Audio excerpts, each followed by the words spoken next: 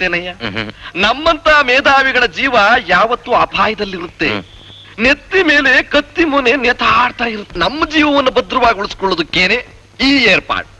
ಒಂದು ವೇಳೆ ನಮಗೆ ಯಾರಾದರೂ ಕೆಟ್ಟದನ್ನ ಮಾಡಬೇಕು ಅಂತ ಬಯಸಿಲ್ಲಿಗೆ ಬಂದ್ರೆ ಕಾರ್ನ ಒಳಗಡೆ ಸೀಟ್ ಖಾಲಿ ಇರುತ್ತೆ. ಅವ್ರ ಅಲ್ಲಿ ಕೂತ್ಕೋತಾರೆ. ನಾನು ಇಲ್ಲಿ ಕೂತ್ಕೋತೀನಿ. ಹೇಗಿದೆ? ಅದ್ಭುತವಾಗಿದೆ ಸರ್. ಈ ತರ ಜೀವ ಉಳಿಸ್ಕೊಳ್ಳೋ ಉಪಾಯಗಳನ್ನ ಬೇಕಾದಷ್ಟು ಪುಸ್ತಕದಲ್ಲಿ ನಾನು ಬರೆದಿಟ್ಬಿಟ್ಟಿದ್ದೀನಿ. ಜೀವ ಪರ್ವ ಪ್ರಾಣಕಾಂಡ. ಅಂದ್ರೆ formula number one one one. ನೂರ ಹನ್ನೊಂದು. ಆಮೇಲೆ ನಮ್ಮ ಅಣ್ಣ ಮಂತ್ರಿ ಏನ್ ಮಾಡ್ತಾ ಇದಾರೆ?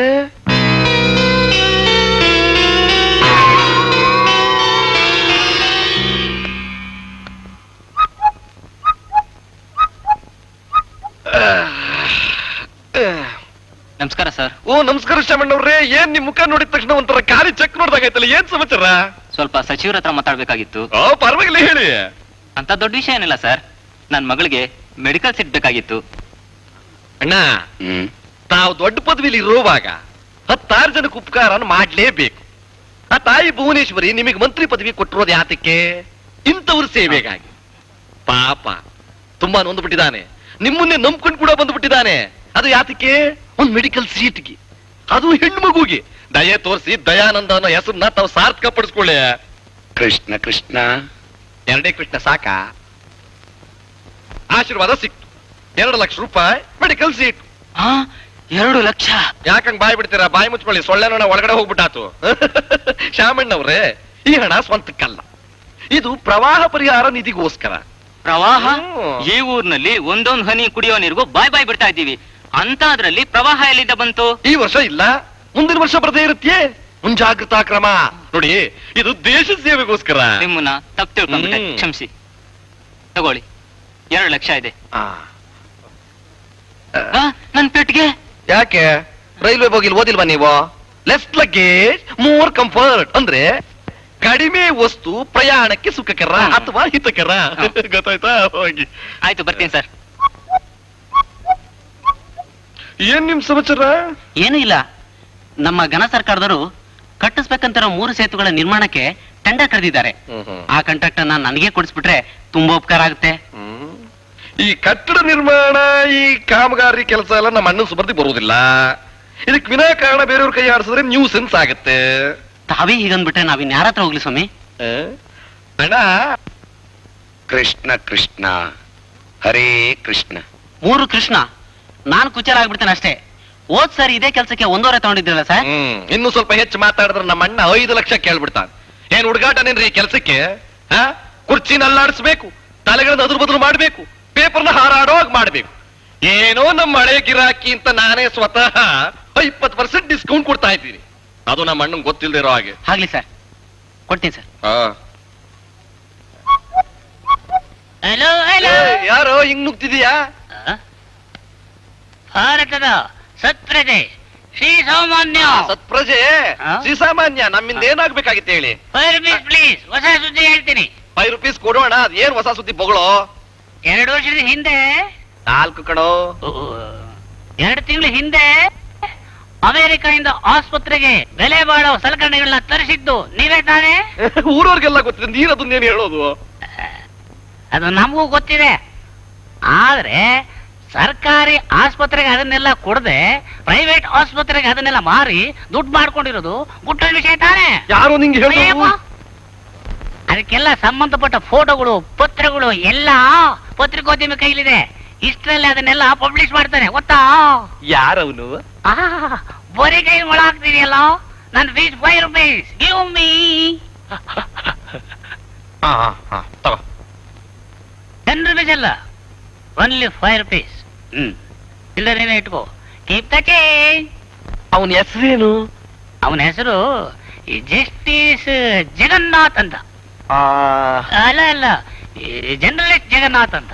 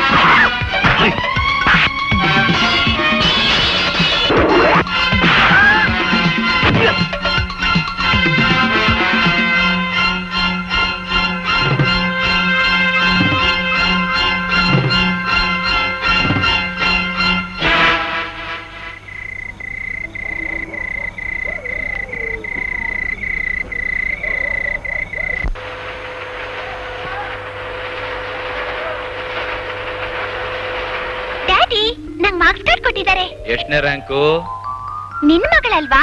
ಪೇಪರ್ನಲ್ಲಿ ಹೊಸ ಸುದ್ದಿ ಕೊಡೋದ್ರಲ್ಲಿ ನೀನ್ ಫಸ್ಟ್ ಹ್ಮ್. ಕ್ಲಾಸ್ನಲ್ಲಿ ನಂಬರ್ ತಗೊಳೋದ್ರಲ್ಲಿ ನಾನ್ ಫಸ್ಟ್ ವೆರಿ ಗುಡ್ ಮಾತಿನ ಮಲ್ಲಿ.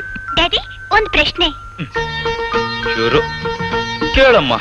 ಒಂದ್ ಗಡಿಯಾರ ಹನ್ನೆರಡು ಸಾರಿ ಟನ್ ಟನ್ ಅಂತ ಸದ್ದು ಮಾಡಿದ್ರೆ ಏನಂತೀವಿ? ಹನ್ನೆರಡು ಗಂಟೆ ಅಂತೀವಿ. ಅದೇ ಗಡಿಯಾರ ಹದಿಮೂರ್ ಸಲ ಟನ್ ಟನ್ ಅಂದ್ರೆ? ಹದಿಮೂರು ಗಂಟೆ. ಹದಿಮೂರ್ ಗಂಟೆ ಇಲ್ವಲ್ಲಮ್ಮ. ಅದಕ್ಕೆ ಕೇಳ್ತಾ ಇರೋದು. ಹದಿಮೂರ್ ಸಲ ಗಂಟೆ ಹೊಡೆದ್ರೆ ಏನರ್ಥ ಅಂತ? ನನಗ್ ಗೊತ್ತಿಲ್ಲ ಅಂತ ನಾನ್ ಸೋತೆ ಅಂತ ಈ ಪ್ರಶ್ನೆಗೆ ಉತ್ತರ ನೀನೇ ಹೇಳ್ಬೇಕು ಅಂತ. ಗಡಿಯಾರ ಕಿಟ್ಟಿದೆ ರಿಪೇರಿ ಮಾಡಿಸ್ಬೇಕು ಅಂತ. ಆ ಇಷ್ಟೇನ ವಿಷಯ? ನನಗ್ ಮು- ನನಗ್ ಮುಂಚೆನೆ ಗೊತ್ತಿತ್ತು ಆ? ಮರ್ತು ಬಿಟ್ರು ಮಂತ್ರಿ ದಯಾನಂದರ ರಾಜೀನಾಮೆ. ಎರಡು ಕೋಟಿ ಸರ್ಕಾರದ ಹಣದ ದುರುಪಯೋಗದ ಆಪಾದನೆ. ವರದಿಗಾರ ಜಗನ್ನಾಥ್. ಹೀಗೆಲ್ಲ ಯಾತಕಣ ಬರೀತೀರಾ? ಏನ್ರಿ? ಯಾರ್ ಎಲ್ಲಾದ್ರೂ ಹಾಳಾಗ್ ಹೋಗ್ಲಿ? ನಮ್ಗೇನು? ಹಾಗಂತ ನೀವು ಸುಮ್ನೆ ಇರ್ಬೋದು. ನಾನ್ ಪೇಪರ್ನನ್ನು ಸುಮ್ನೆ ಇರಕ್ಕಾಗತ್ತಾ? ಹೀಗೆಲ್ಲ ಬರ್ದು ಜನಗಳನ್ನಂತೂ ನೀವು ಎದುರು ಹಾಕೋತಾ ಇದ್ದೀರಾ? ನಾಳೆ ದಿವಸ ಅವರು ನಿಮ್ಗೇನಾದ್ರೂ ತೊಂದ್ರೆ ಮಾಡಿದ್ರೆ? ಜಾನಕಿ ಮನುಷ್ಯನಿಗೆ ಎಲ್ಲದಕ್ಕಿಂತ ದೊಡ್ಡ ಶತ್ರು ಭಯ. ಹೆದರ್ಕೊಂಡು ಬಾಳೋನು ಜೀವನದಲ್ಲಿ ಏನೂ ಸಾಧಿಸಕ್ಕಾಗಲ್ಲ. ನಾನ್ ಧೈರ್ಯವಾಗಿ ಬರ್ದಿದ್ದಕ್ಕೆ ತಾನೆ ದಯಾನಂದನ್ನ ಮಂತ್ರಿ ಪದವಿಯಿಂದ ಕೆಳಗಿಳಿಸಿದ್ದು. ಇದೆಲ್ಲ ಕಣ್ಣೋರ್ಸೋ ನಾಟಕನ ಜನ ಉಗಿತಾರೆ ಅಂತ ಇವತ್ತು ಪದವಿಯಿಂದ ಇಳಿಸ್ತಾರೆ. ಮತ್ತೆ ನಾಳೆ ಅದೇ ಪದವಿಗೆ ಏರಿಸ್ತಾರೆ. Pen is mightier than sword ಒಂದು ಪತ್ರಿಕೆಗೂ. ಒಬ್ಬ ಪತ್ರಕರ್ತನಿಗಿರೋ ಶಕ್ತಿ ನಿನಗಿನ್ನೂ ಗೊತ್ತಿಲ್ಲ.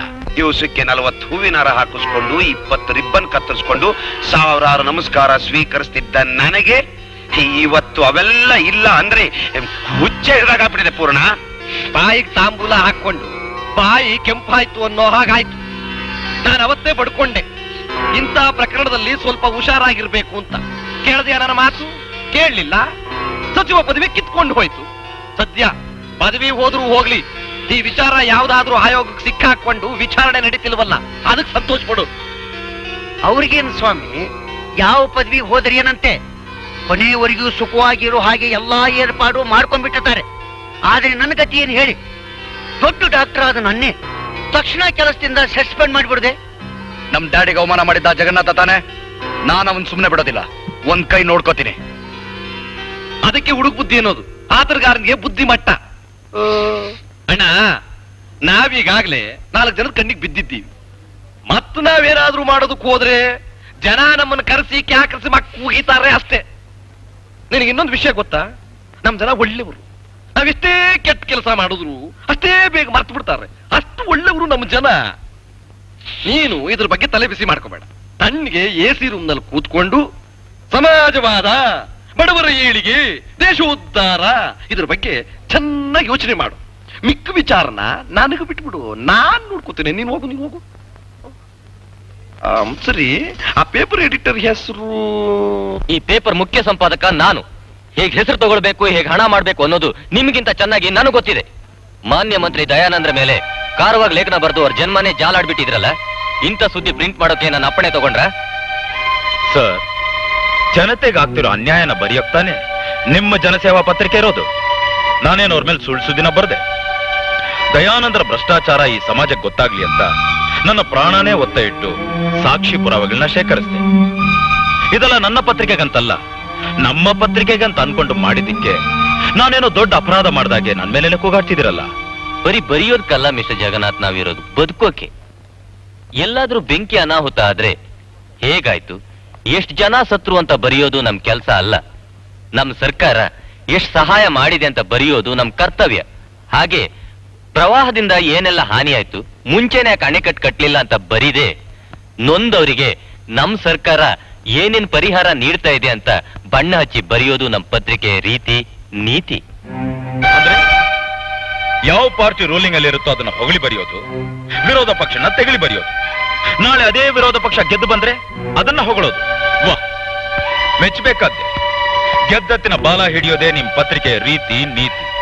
ಭ್ರಷ್ಟ ರಾಜಕೀಯ ಸಮಾಜ ದ್ರೋಹಿಗಳು ಬಿಸಾಕೋ ಎಂಜಿಲ್ ಕಾಚಿಗೆ ಕೈ ಚಾಚಿ ಡೊಗ್ಗು ಸಲಾಂ ಹೊಡೆದು ಅವ್ರ ಧ್ವನಿಗೆ ಪ್ರತಿಧ್ವನಿ ಆಗ್ಬೇಕು ಅಂತ ಆಸೆ ಪಡ್ತೀರಾ? ನೀನೇನ್ ಬೇಕಾದ್ರೂ ತಿಳ್ಕೊ.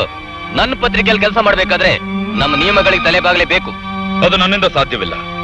ಕೇವಲ ಹಣಕ್ಕಾಗಿ ನನ್ನ ಆತ್ಮಸಾಕ್ಷಿನ ಮಾರ್ಕೊಂಡು ಪವಿತ್ರವಾದ ಪತ್ರಿಕೋದ್ಯಮಕ್ಕೆ ಮಸಿ ಹಚ್ಚುವಂತ ವ್ಯಕ್ತಿ ನಾನಲ್ಲ. ಗುಡ್ ವೆರಿ ಗುಡ್ ನಿಜವಾದ ಪತ್ರಕರ್ತ ಅಂದ್ರೆ ನೀನೆ. ಪತ್ರಿಕೋದ್ಯಮದ ಬಗ್ಗೆ ನಿನ್ಗಿರೋ ಕಳಕಳಿ ನಿಷ್ಠೆ ಪ್ರಾಮಾಣಿಕತೆಗೆ ನಾನ್ ಲಕ್ಷ ಲಕ್ಷ ಕೊಟ್ಟರು ಸಾಲದು. ಆದ್ರೆ ನನ್ನ ಹತ್ರ ದುಡ್ಡು ಇಲ್ಲ ನಾನೊಬ್ಬ ಬಡ ಪತ್ರಿಕಾ ಸಂಪಾದಕ. ನನ್ನ ಹತ್ರ ಇರೋದು ಕಾಗದ ಪೆನ್ನು ಎರಡೇ. ತಗೋ. ಎಷ್ಟ ಲಕ್ಷ್ಮೀಕಾಂತ್ ಲಂಚ ಅವರ ಬಾಡಿಗೆ ಪೆನ್ ಉಪಯೋಗಿಸಿ ನನ್ನ ಅಭ್ಯಾಸ ಇಲ್ಲ. ನಂದೇ ಆದ ಒಂದು ಸ್ವಂತ ಪೆನ್ ಇದೆ.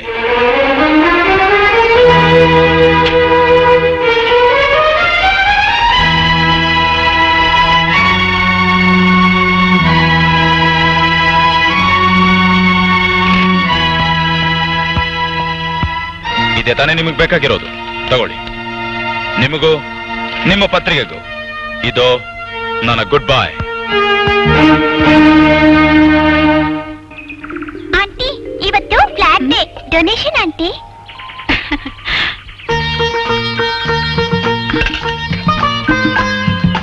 ಏನಾದ್ರೂ ತಿಂಡಿ ತಿಂತೀಯಾ? ತಿನ್ಬೋದಾಗಿತ್ತು ಆದ್ರೆ ಡಾಕ್ಟರ್ ಹೇಳಿದ್ದಾರೆ ಆರೋಗ್ಯವೇ ಭಾಗ್ಯ ಅಂತ. ನೀನ್ ಚೆನ್ನಾಗಿದ್ಯಲ್ಲ ನಿನ್ಗೇನಾಗಿದೆ? ಇಲ್ಲ ಆಂಟಿ ನಂಗೆ ಚಿಕ್ಕ ವಯಸ್ಸಿನಿಂದಲೂ ಹೊಟ್ಟೆ ನೋವು ಬರ್ತಿದೆ. ಮಾತ್ರೆ ತಗೊಂಡ್ರೆ ನೋವು ಕಡಿಮೆ ಆಗೋದು. ಡಾಕ್ಟರ್ ಕೂಡ ಹೊರಗಡೆ ಏನು ತಿನ್ಬೇಡ ಅಂತ ಹೇಳಿದ್ದಾರೆ. ಆಂಟಿ ಒಂದ್ ದೊಡ್ಡ ಪ್ರಶ್ನೆ. ಏನು? ಒಬ್ಬ ಧಡಿಯ ನಿಮ್ ಹೋಟ್ಲಿಗೆ ಬರ್ತಾನೆ. ಅವನು ಮೂರ್ ದಿವಸದಿಂದ ಊಟನೇ ಮಾಡಿರಲ್ಲ. ಹತ್ತಿಡ್ಲಿ ತರಿಸ್ಕೊಂಡು ಬಕಾಸುರನ ಹಾಗೆ ತಿನ್ಬಿಡ್ತಾನೆ.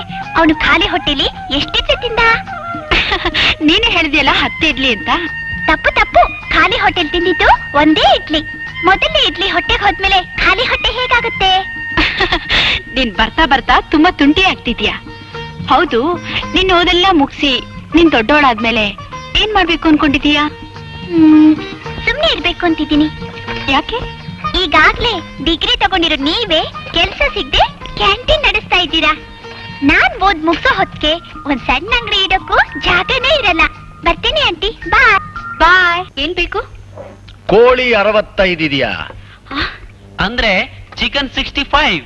ಇದು ಅಪ್ಟ ಸಸ್ಯಾಹಾರಿ ಮಂದಿರ. ಓ ಹೋ ಹಾಗಾದ್ರೆ ನಾಲ್ಕು ಪ್ಲೇಟ್ ಬೋಂಡಾ ತಗೊಂಬನ್ನಿ.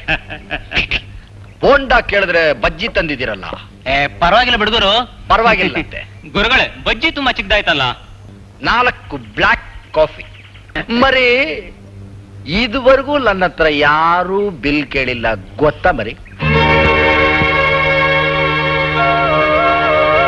ಬಿಲ್ ಕೊಡ್ತೀರಾ? ರೇ ಮಿಸ್ಟರ್ ಮೊದ್ಲು ದುಡ್ಡು ಕೊಡಿ. ವಾಹ್ ಇದ್ಯಾವ್ದಪ್ಪ ಈಸ್ಟ್ಬಲ್ ಕಲರ್ ಇದುವರೆಗೂ ನೋಡ್ಲೇ ಇಲ್ವಲ್ಲ? ಮರ್ಯಾದೆ ಕೊಡ್ತೀರಾ ಇಲ್ವಾ? ಕೊಡದಿದ್ರೆ. ಪೊಲೀಸನ್ ಕರಿತೀನಿ. ಹೌದಾ? ನಂಬರ್ ಹಂಡ್ರೆಡ್ ಇಲ್ಲೇ ಕೂತಿರ್ತೀನಿ. ಕರಿಮನ್ ನಾಚಿ ಆಗೋದಿಲ್ಲ ನಿಮ್ಗೆ? ನಿಮ್ಗೆ ಅಮ್ಮ ಅಕ್ಕ ತಂಗಿ ಯಾರು ಇಲ್ವಾ? ಎಲ್ಲಾರು ಇದ್ದಾರೆ. ಹಂಪೆ ಅಮ್ಮ ಯಾರಿಗೋಸ್ಕರ? ಅಪ್ಪನ್ಗೋಸ್ಕರ. ಒಬ್ಳೆ ಅಕ್ಕ. ಭಾವನಿಗೋಸ್ಕರ. ಈಸ್ಟ್ ಮೇಲ್ ಕಲರ್ ನಮ್ ರಾಯಲ್ ಸೆಲ್ಯೂಟ್ಗೋಸ್ಕರ ಗೊತ್ತಾ ಮರೆ? ಮರೆ. ಇವ್ರ ರಾಸ್ಕರ್? ಹೆಸರು ಚೆನ್ನಾಗಿದೆಯಲ್ಲಪ್ಪ ರಾಯಲ್ ಮರಿ ನಾಳೆ ಇಂದಲೇ ನನ್ನನ್ನ ಇದೇ ಹೆಸರಿನಲ್ಲಿ ಕರಿ. ನೋಡು ಮರಿ, ನಾನು ಮನಸ್ಸು ಮಾಡ್ದ ಅಂದ್ರೆ ನಾಳೆನೆ ಈ ಹೋಟೆಲ್ನ ಫೈವ್ ಸ್ಟಾರ್ ಹೋಟೆಲ್ ಮಾಡ್ಬಿಡ್ತೀನಿ. ನೀನ್ ಮನಸ್ಸು ಮಾಡದೆ ಹೋದ್ರೆ ಫೈವ್ ಸ್ಟಾರ್ ಚಾಕ್ಲೇಟ್ ಮಾಡಿ ತಿಂದು ಬಿಡ್ತೀನಿ ಗೊತ್ತಾ ಮರಿ? ಈಸ್ಟ್ ಮೆನ್ ಕಲರ್ ಮರಿ, ಯಾವುದಕ್ಕೂ ನಾಳೆ ಮಧ್ಯಾಹ್ನ ಇದೇ ಜಾಗಕ್ಕೆ ಬರ್ತೀನಿ. ನೀನು ಗ್ರೀನ್ ಸಿಗ್ನಲ್ ಕೊಡು ಮರಿ. ಮರಿ, ಇಲ್ಲಿ ಕೊಡು ಮರಿ.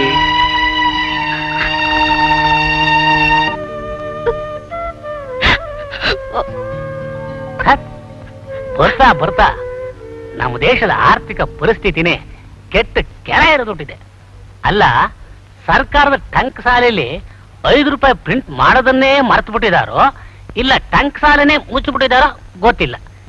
ಯಾರನ್ನ ಕೇಳಲಿ ಜುಜುವೆ ಐದು ರೂಪಾಯಿ ಹುಟ್ತಾ ಇಲ್ಲ.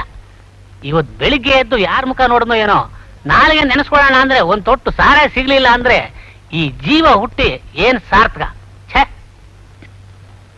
ಅರೆ ಏನಪ್ಪ ಇದು? ಇವತ್ತು ಹುಣ್ಣಿಮೆ. ನಮ್ಮನೇಲಿ ಯಾಕೆ ಇವತ್ತು ಅಮಾವಾಸ್ಯೆ? ಲೈಟ್ ಬಿಲ್ ಕಟ್ಟದ್ನಲ್ಲ? ಕುಡಿದ್ ಮತ್ನಲ್ಲಿ ಪಕ್ಕದ ಮನೆ ಲೈಟ್ ಬಿಲ್ ಕಟ್ಟದ್ನೋ ಏನೋ? ನನಗ್ ಬುದ್ಧಿ ಇಲ್ಲ ಬೇಡ. ಡಿಪಾರ್ಟ್ಮೆಂಟ್ ಬುದ್ಧಿ ಬೇಡ? ಎಲ್ಲಪ್ಪ ಇದೆ ಸ್ವಿಚ್ಚು.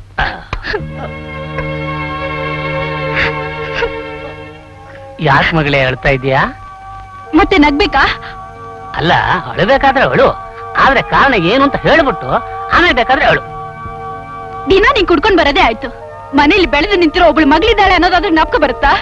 ಏನಮ್ಮ ಯಾವತ್ತೂ ನಾನು ಬೈದೋಳಲ್ಲ ಇವತ್ತು ಮುಗಿತಾ ಇದೆಯಲ್ಲ? ಇವತ್ತು ಕ್ಯಾಂಟೀನ್ಗೆ ನಾಲ್ಕು ಜನ ರೌಡಿಗಳು ಬಂದು ನನ್ನ ಆಡಬಾರ್ದು ಮಾತುಗಳನ್ನ ಆಡಿ ಗೇಲಿ ಮಾಡಿದ್ರು. ಯಾರ ಆ ರೌಡಿಗಳು? ನನಗೆ ಗೊತ್ತಿದೆ ತಾನೆ. ಡೋಂಟ್ ವರಿ ಆ ರೌಡಿಗಳು ಯಾರು ಅನ್ನೋದನ್ನ ನಾನು ಪತ್ತೆ ಮಾಡೇ ಮಾಡ್ತೀನಿ. ನಾನೊಂದು ಕ್ವಾಟ್ ಹಾಕೊಂಡು ಬೇರೆಯವರಿಂದ ಆ ನನ್ನ ಮಕ್ಕಳಿಗೆ ಬ್ಲೇಡ್ ಹಾಕ್ಸಿ ಒಂದ್ ಲೀಟರ್ ರಕ್ತ ಹಾಕಿ ಯೋಚನೆ ಮಾಡೋಣ. ಹಾ.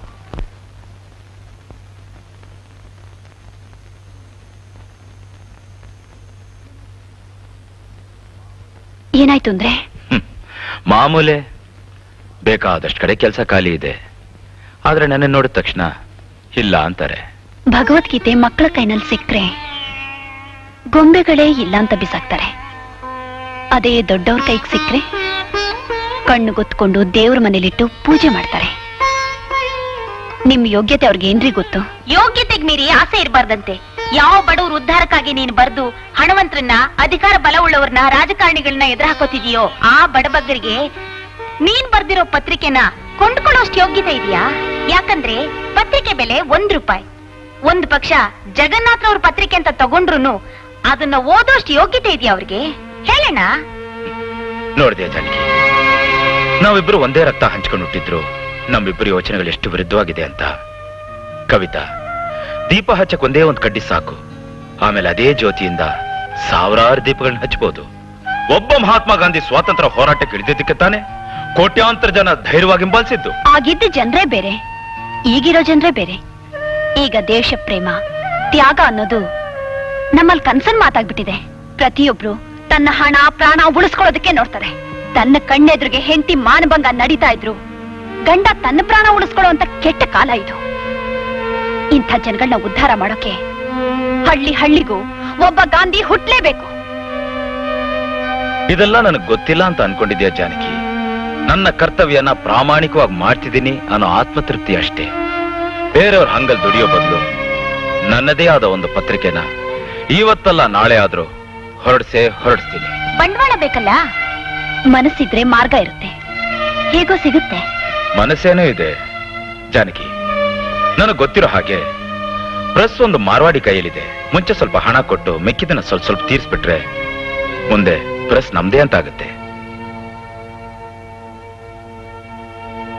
ಡ್ಯಾಡಿ ಡ್ಯಾಡಿ ಒಂದ್ ಪುಟ್ಟ ಪ್ರಶ್ನೆ. ಶೂರು. ಕೇಳಮ್ಮ. ಮ್ಯಾನ್ಗೂ ಸೂಪರ್ ಮ್ಯಾನ್ಗೂ ಏನ್ ವ್ಯತ್ಯಾಸ? ಸೂಪರ್ ಅನ್ನೋ ಪದ. ರಾಮ ರಾಮ ಅಷ್ಟು ಗೊತ್ತಿಲ್ವಾ?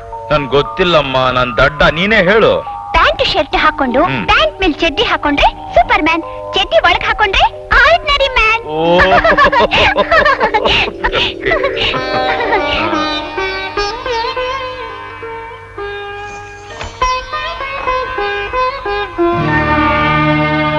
ಜಾನಕಿ ಏನಿದೆಲ್ಲ?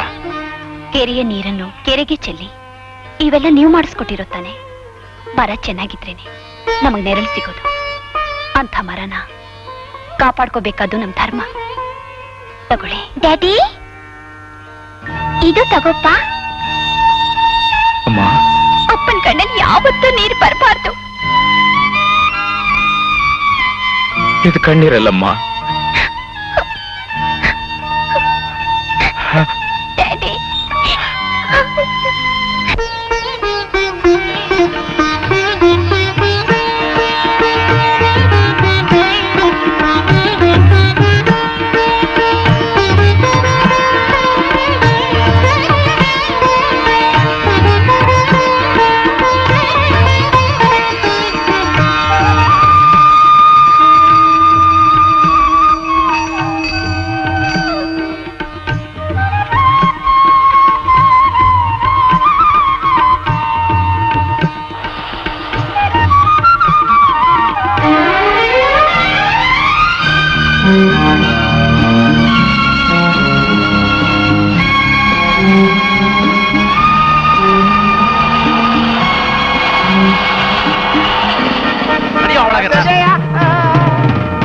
ಮರ್ಯಾದೆಯಾಗಿ ಒಡವೆಗಳನ್ನೆಲ್ಲ ಇಟ್ಟಿದ್ಯಾ ಹೇಳ್ತಿಲ್ವಾ?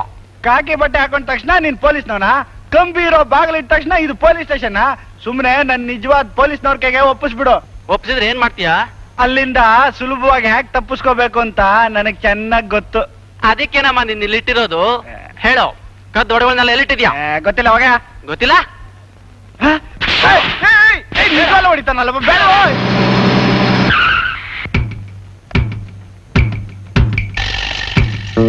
ನಮಸ್ಕಾರ ಸ್ವಾಮಿ?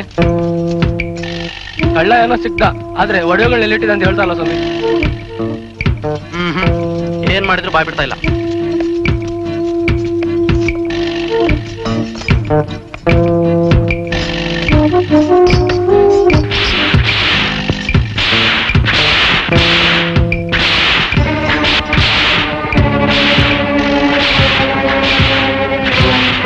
ನಿಜ ಹೇಳ್ತೀನಿ ನಿಜ ಹೇಳ್ತೀನಿ ನನ್ ಬಿಟ್ಬಿಡಿ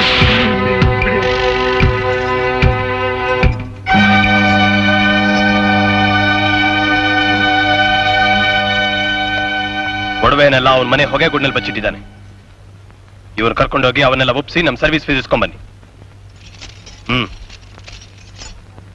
ನಮಸ್ಕಾರ ಇನ್ಸ್ಪೆಕ್ಟರ್. ಓ ಇವನು ಇನ್ಸ್ಪೆಕ್ಟರ್ ಅನ್ನಲ್ಲಪ್ಪ. ಒಳ್ಳೆ ಕಾರ್ಪೊರೇಷನ್ ಅಲ್ಲಿ ಬೀದಿ ನಾಯಿ ಹಿಡಿಯೋನಾಗಿದ್ದಾನೆ ಹಲೋ ಇನ್ಸ್ಪೆಕ್ಟರ್. ಇಲ್ಲಿಲ್ಲ. ನಮಸ್ಕಾರ ಇನ್ಸ್ಪೆಕ್ಟರ್. ನಂದೇನು ಪ್ರಾಬ್ಲಮ್ ಇಲ್ಲ. ನಿಮ್ ಪ್ರಾಬ್ಲಮ್ ಕೊಡಕ್ಕೆ ನಾನು ಬಂದಿರೋದು. Five rupees please. Yes thank you. ಓಯ್. ನನ್ನ ಇನ್ಫಾರ್ಮೇಶನ್ ಏನಿಲ್ಲ ನನ್ನ ಮಗಳು ನಾಲ್ಕು ಜನ ರೌಡಿಗಳನ್ನ ಚುಡಾಯಿಸ್ತಾ ಇದ್ದಾಳಂತೆ ನೋಡಿ. ಏನಂದ್ರೆ? ಅಲ್ಲ ಅಲ್ಲ ನನ್ನ ಮಗಳನ್ನ ನಾಲ್ಕು ಜನ ರೌಡಿಗಳು ಚುಡಾಯಿಸ್ತಾ ಇದ್ದಾರೆ. ಇದೇ ನನ್ನ ಪ್ರಾಬ್ಲಮ್ ನನ್ನ ಸರ್ವಿಸ್ ಫೀಸ್ ಐನೂರು ರೂಪಾಯಿ. ಅಷ್ಟೇ ತಾನೇ. ಸದ್ಯಕ್ಕೆ ಐದು ರೂಪಾಯಿ ಇಟ್ಕೊಳ್ಳಿ ಇನ್ನೆರಡು ಸೊನ್ನೆ ಆಮೇಲೆ ಕಳಿಸ್ತೀನಿ. ಹ್ಮ್? ಮರ್ತು ಬಿಟ್ಟಿದೆ ತಗೊಳ್ಳಿ. ಅಯ್ಯೋ ಇದು ನಂದು. ಇದು ನಿಮ್.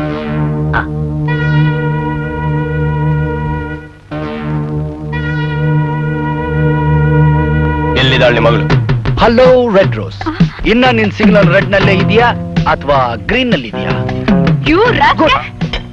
ನಿನ್ನೆ ನೀನ್ ನನಗಿಟ್ಟಿದ್ದ ಹೆಸರು ಇನ್ನ ಜ್ಞಾಪಕದಲ್ಲಿ ಇಟ್ಕೊಂಡಿದ್ಯಲ್ಲ. ಮರಿ ಇವತ್ತು ನೀನೇ ಸರ್ವ್ ಮಾಡ್ಬೇಕು. ಮಾಡಲ್ಲ ಅಂದ್ರೆ? ಮಾಡೋಲ್ಲ ಅಂದ್ರೆ ದ್ರೌಪದಿ ವಸ್ತ್ರಾಪಹರಣ. ಜ್ಞಾಪಕದಲ್ಲಿ ಇದೆಯಲ್ಲ ಮರಿ? ಏ ಚಿತ್ರ ಪೊಲೀಸಿಗೆ ಫೋನ್ ಮಾಡೆ. ಚಿತ್ರ ಮರಿ ನೀನ್ ಫೋನ್ ಮಾಡು ಅಷ್ಟ್ರಲ್ಲಿ ನನ್ ಕೆಲಸ ಮುಗಿಸಿರ್ತೀನಿ.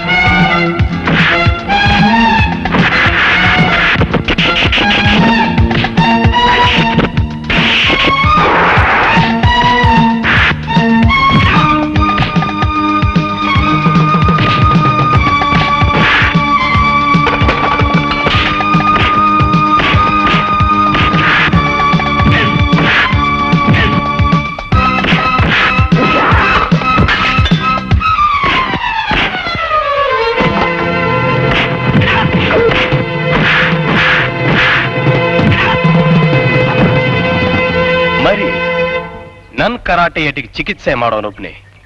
ಖಾನ್ ಅಬ್ದುಲ್ ಜಮಾಲ್ ಖಾನ್. ರಜಲ್ ಮಾರ್ಕೆಟ್ ಹಿಂದೆ ಡೋರ್ ನಂಬರ್ ಟ್ವೆಂಟಿ ಏಟ್ ಮೂರನೇ ಕ್ರಾಸ್ ಅಲ್ಲಿಗೆ ಹೋಗಿ ನನ್ನ ಹೆಸರು ಹೇಳಿ. ಚೆನ್ನಾಗಿ ಚಿಕಿತ್ಸೆ ಮಾಡ್ತಾನೆ. ಮರಿ, ಗೊತ್ತಾಯ್ತಾ ಮರಿ? ನನಗೆ ಚಿಕಿತ್ಸೆ ಮಾಡಿಸ್ಕೊಳ್ಳೋದು ಮಾತ್ರ ಅಲ್ಲ, ಚಿಕಿತ್ಸೆ ಮಾಡಿಸೋಕ್ಕೂ ಗೊತ್ತು ಮರಿ. ಇದು ನಿನ್ ಟೈಮ್ ನಾನು ನನ್ನ ಟೈಮ್ಗೋಸ್ಕರ ಕಾಯ್ತಾ ಇದ್ದೀನಿ. ನೀನು ಹೇಳ್ದಿಯಲ್ಲ, ಖಾನ್ ಅಬ್ದುಲ್ ಜಮಾಲ್ ಖಾನ್.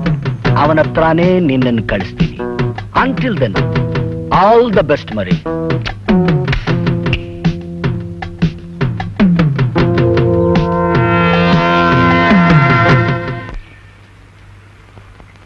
ನಿಮ್ಗೆ ಯಾವ ರೀತಿ ಕೃತಜ್ಞತೆ ಹೇಳ್ಬೇಕು ಅಂತ ನನಗೆ ಗೊತ್ತಾಗ್ತಾ ಇಲ್ಲ.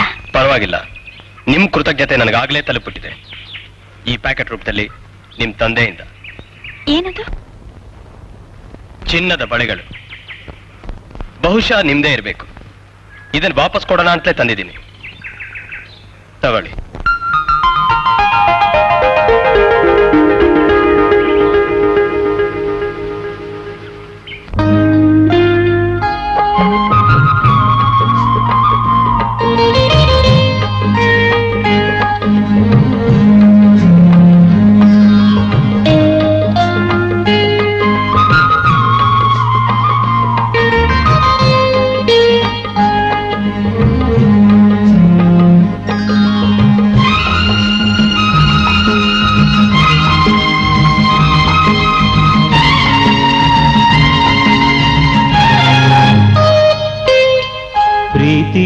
ಎಂದರೇನು?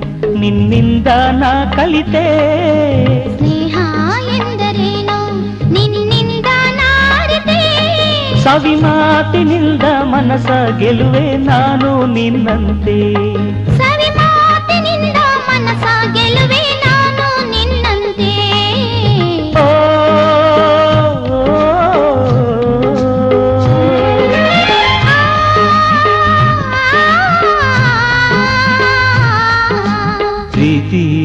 ಎಂದರೇನು ನಿನ್ನಿಂದ ನಾ ಕಲಿತೆ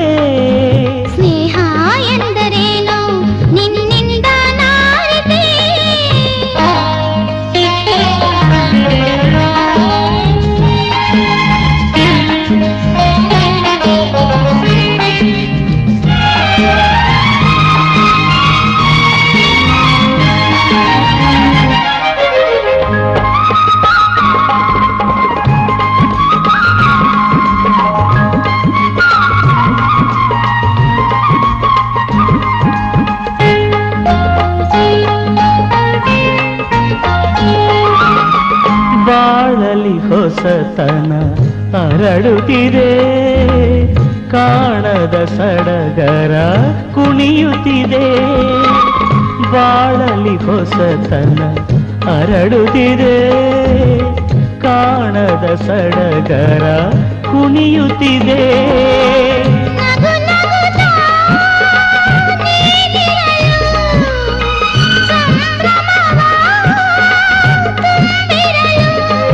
ಹೊಸ ಸಂಗೀತ ಹೊಸ ಆನಂದ ನಿನ್ನಿಂದ ನಾ ಕಂಡೆ.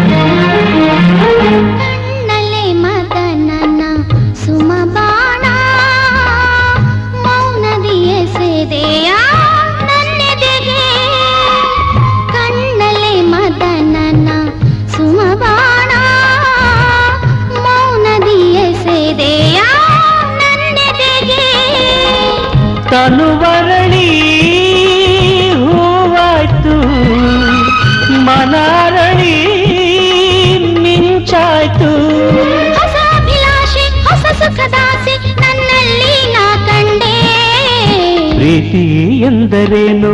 ನಿನ್ನಿಂದ ನಾ ಕಲಿತೆ. ಸ್ನೇಹ ಎಂದರೇನು? ನಿನ್ನಿಂದ ಸವಿ ಮಾತಿನಿಂದ ಮನಸ ಗೆಲುವೆ ನಾನು ನಿನ್ನಂತೆ.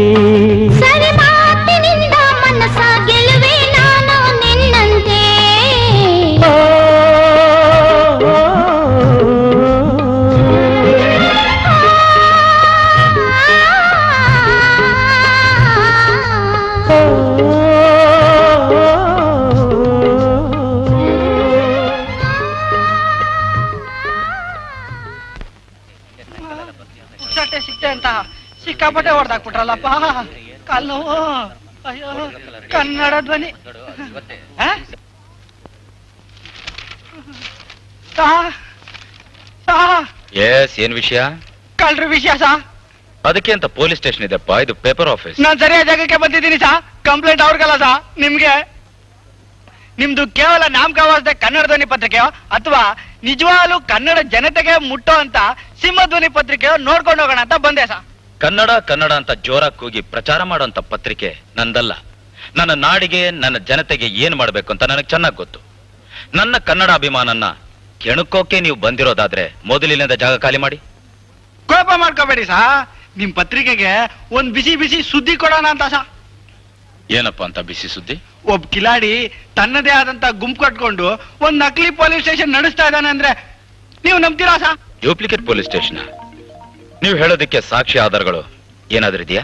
ಅಲ್ಲಿಗೆ ಹೋಗಿ ಬಂದಿರೋ ನಾನೇ ನಿಮ್ಮ ಎದುರಿಗೆ ಇನ್ನೂ ಜೀವಂತವಾಗಿ ನಿಂತಿದ್ದೀನಲ್ಲ ಸಾ ಸರಿ ಸರಿ. ನಿಮ್ಮಿಂದ ವಸೂಲ್ ಮಾಡಿದ ಮಾಲ್ನ ಕದ್ ಹಣನ ಏನ್ ಮಾಡ್ತಾರೆ? ನನಗೆ ಗೊತ್ತಿರೋ ಹಾಗೆ ಅದನ್ನೆಲ್ಲ ಅವ್ರವ್ರೆ ಅಂದ್ರೆ ಆ ನಕಲಿ ಪೊಲೀಸ್ ಅವರೇ ಹಂಚ್ಕೊಂತಾರೆ ಸಾರ್ ಎಲ್ಲಿದೆ ಪೊಲೀಸ್ ಸ್ಟೇಷನ್?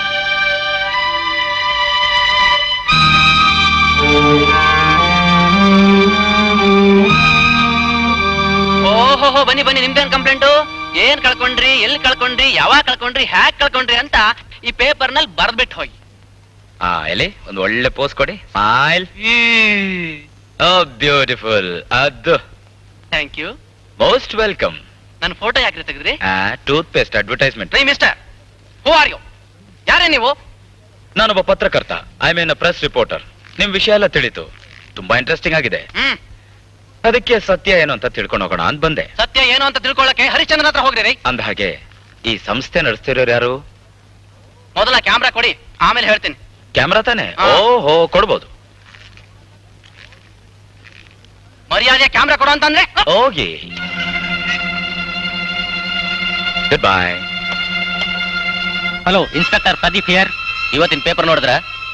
ನಿಮ್ಮ ಏರಿಯಾದಲ್ಲೇ ಇನ್ನೊಂದು ಪೊಲೀಸ್ ಸ್ಟೇಷನ್ ಅದು ನಕಲಿ ಪೊಲೀಸ್ ಸ್ಟೇಷನ್ ಇದ್ದು ನಿಮಗೆ ಗೊತ್ತಿಲ್ಲ ಅಂದ್ರೆ it's shame on our department ತಕ್ಷಣ ಆಕ್ಷನ್ ತಗೊಂಡು ಅದನ್ನ ಸೀಸ್ ಮಾಡಿ.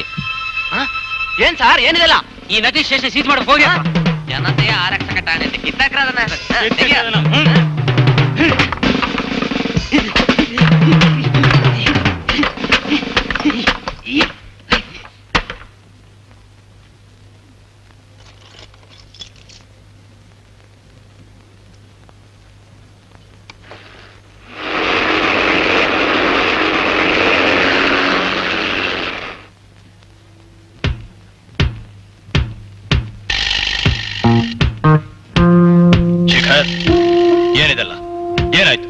ಪತ್ರಕರ್ತ ಬಂದು ನಮ್ ಪೊಲೀಸ್ ಸ್ಟೇಷನ್ ಫೋಟೋ ತೆಗೆದು ಫೋಟೋ ಸಮೇತ ಪೇಪರ್ ಅಲ್ಲಿ ಬರ್ದ. ಪೊಲೀಸ್ನವರು ಬಂದು ಆಕ್ಷನ್ ತಗೊಂಡ್ರು. ಯಾವ ಪೇಪರ್ನವರು ಯಾರ ಪತ್ರಕರ್ತ? ಕನ್ನಡ ಧ್ವನಿ ಜರ್ನಲಿಸ್ಟ್ ಜಗನ್ನಾಥ್. ಜಗನ್ನಾಥ್.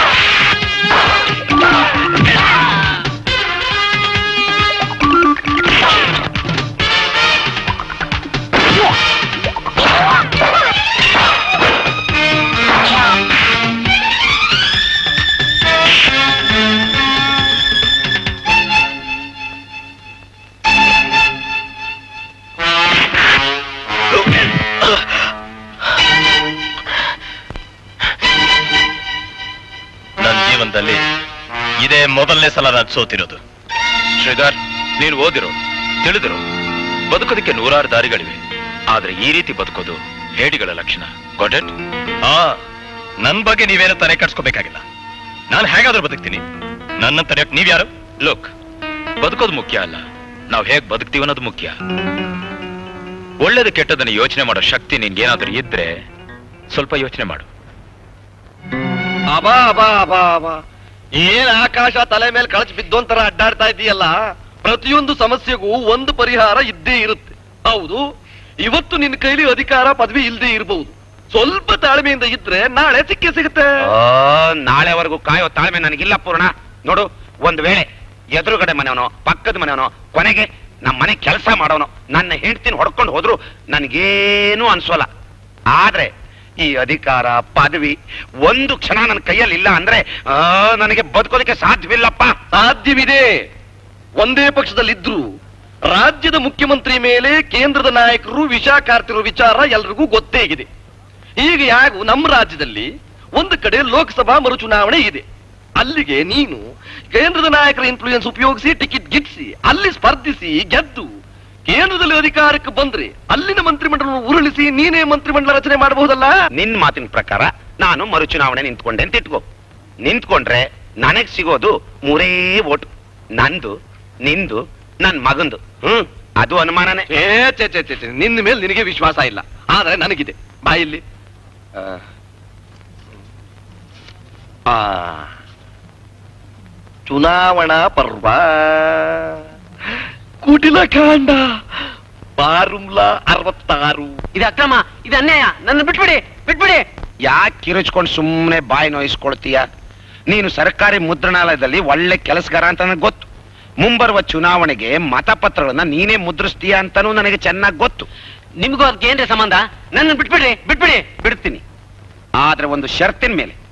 ಈಗ ನೀನು ಮುದ್ರಿಸೋ ಮತಪತ್ರಗಳ ಜೊತೆಗೆ ಇನ್ನೂ ಮೂರ್ನಾಲ್ಕು ಲಕ್ಷ ಮತಪತ್ರಗಳನ್ನ ಹೆಚ್ಚಿಗೆ ಮುದ್ರಿಸೋದಾದ್ರೆ. ಈಗಲೇ ಪೊಲೀಸ್ ಫೋನ್ ಮಾಡ್ತೀನಿ. ನಂಬರ್ ಗೊತ್ತು ತಾನೆ? ಬಿಡ್ರ. ಒಂದು ಸೊನ್ನೆ ಸೊನ್ನೆ. ನಿಲ್ಲು. ಸ್ವಲ್ಪ ಯೋಚನೆ ಮಾಡು. ಒಂದು ಸೊನ್ನೆ ಸೊನ್ನೆ. ಅಂದ್ರೆ ನೂರು. ಅದರಲ್ಲಿ ಒಂದನ್ನು ಅಳಿಸಿದ್ರೆ ಉಳಿಯೋದು ಎರಡು ಸೊನ್ನೆ. ಹಾಗೆ ನಿನ್ನನ್ನು ಮುಗಿಸಿದ್ರು ಉಳಿಯೋದು ಎರಡೇ ಸೊನ್ನೆ. ಒಂದು ಸೊನ್ನೆ ನಿನ್ನ ಹೆಂಡ್ತಿ, ಇನ್ನೊಂದು ಸೊನ್ನೆ ನಿನ್ನ ಮಗ.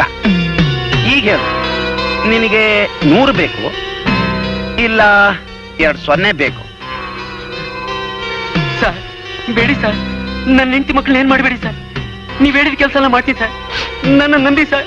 ನನ್ನ ನಂಬಿ ಸರ್, ನಿಮ್ ಕೈ ಮುಗಿತೀನಿ sir. Krishna Krishna. Hare Krishna.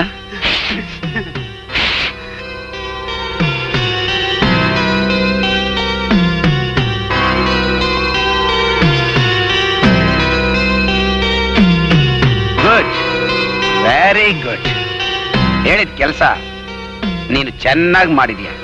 Good ಹ್ಮ್. ರಂಗ? ಸರ್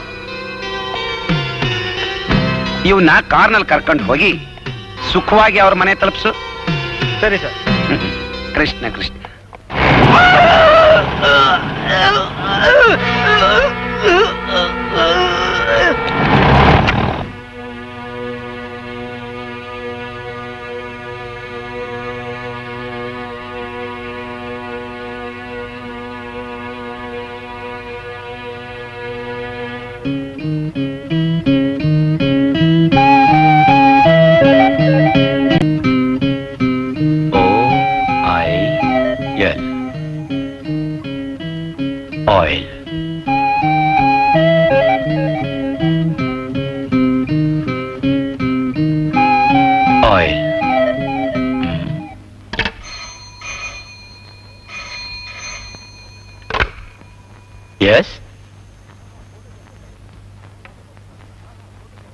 ಫೋಟೋಸ್ ಏನ್ ಬೇಕಾಗಿಲ್ಲ?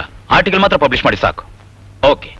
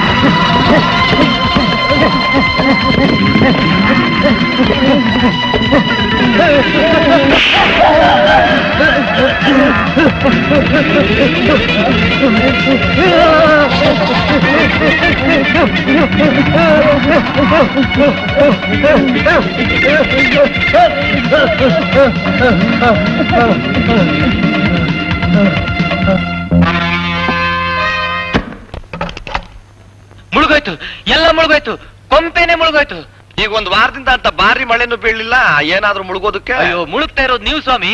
ಆ ಪೇಪರ್ ಜಗನ್ನಾಥ ನಮ್ ಪ್ರೆಸ್ ನೋಡಿ ನುಗ್ಬಿಟ್ಟ ಪೂರ್ಣ? ಆ ಜಗನ್ನಾಥ ನಮ್ ರಹಸ್ಯನೆಲ್ಲ ನಾಳೆ ಅವನ್ ಪೇಪರ್ನಲ್ಲಿ ಬಯಲ್ ಮಾಡ್ಬಿಟ್ರೆ ಆ ವಿಷಯ ಹತ್ತು ಜನಕ್ಕೆ ಗೊತ್ತಾಗೋಕ್ ಮುಂಚೆ ನಾನೇ ನನ್ನ ಕೈಯಾರ ವಿಷ ತೊಗೊಂಡು ಸಾಯ್ಬೇಕು ಇಂತ ಜಿಸ್ಬಿ ವಿಷಯಕ್ಕೆ ಸಾಯೋದು ಯಾಕೆ ಯೋಚನೆ ಮಾಡ್ತೀಯ? ಅದಕ್ಕೂ ಇದೆ ನನ್ನ ಹತ್ರ ಫಾರ್ಮುಲಾ. ವ್ಯಾಪಾರ ಪರ್ವ. ಹಣಕಾಂಡ ಫಾರ್ಮುಲಾ ತೊಂಬತ್ತೊಂಬತ್ತು. ಮಾನ್ಯ ಮಂತ್ರಿಗಳು. ಐ ಆಮ್ ಸಾರಿ ಮಾಜಿ ಮಂತ್ರಿಗಳು. ಏನಿಷ್ಟು ದೂರ? ನೀವು ಹೊಸ ಪತ್ರಿಕೆ ಪ್ರಾರಂಭ ಮಾಡೋ ವಿಚಾರ ನಮಗೆ ಮೊದಲೇ ಗೊತ್ತಿತ್ತು. ಏನ್ ಮಾಡೋದು ಈ ನಮ್ಮ ಅಣ್ಣನ ಬೇಕಾದಷ್ಟು ಕಾರ್ಯಕ್ರಮಗಳ ನಡುವೆ ಆಗ ಬರಕ್ಕಾಗ್ಲಿಲ್ಲ. ನಿಮಗೆ ಗೊತ್ತೇ ಇದೆ, ಜನಸೇವೆ, ದೇಶ ಸೇವೆ, ದೇಶೋದ್ಧಾರ, ಹೀಗೆ ಒಂದ ಎರಡ. ನೂರ ಎಂಟು ತಾಪತ್ರಯದಲ್ಲಿ ಸಿಕ್ಕಾಕೊಂಡ್ಬಿಟ್ಟು ಒಳ್ಳೆ ಕೆಲಸ ಮಾಡ್ತಿದ್ವಿ. ಈಗ ಸ್ವಲ್ಪ ಬಿಡುವಾಯ್ತು ಹಾಗೇ ನಿಮ್ ನೋಡ್ಕೊಂಡು ಹೋಗೋಣ ಅಂತ ಬಂದ್ವಿ. ಅಣ್ಣ ನೀನು ಕೂತ್ಕೋ. ಈಗ ನಾನು ಸ್ವಲ್ಪ ಕೂತ್ಕೋಬೋದಾ? ಕೂತ್ಕೋಬಹುದು. ಒಂದು ಕೆಲಸ ಬೇಗ ಮುಗಿಸಿದ್ರೆ ನಿಮಗೂ ಒಳ್ಳೇದು ನನಗೂ ಒಳ್ಳೇದು. ಇಬ್ಬರಿಗೂ ಒಳ್ಳೇದಾಗುವಂತ ಕೆಲಸಕ್ಕೆ ನಾನ್ ಬಂದಿರೋದು.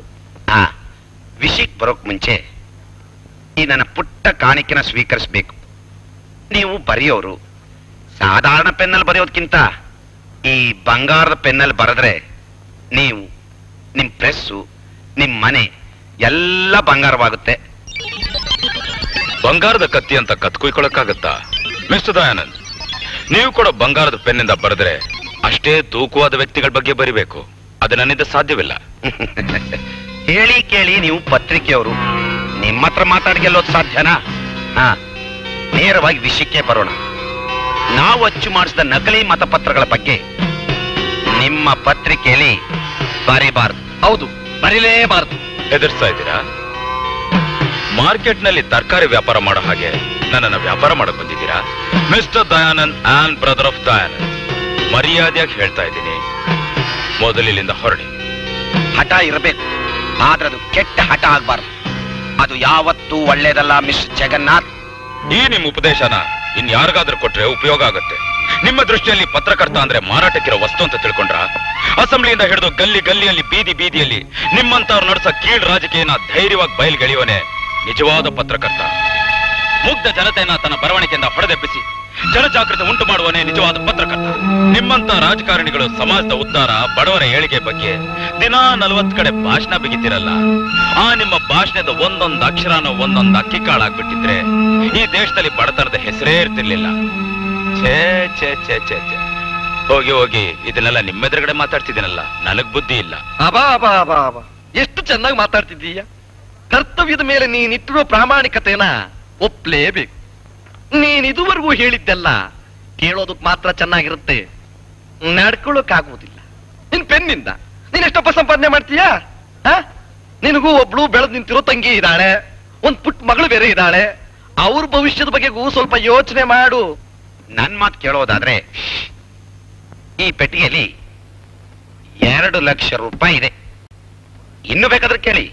ಕೊಡೋದಕ್ಕೆ ಸಿದ್ಧ.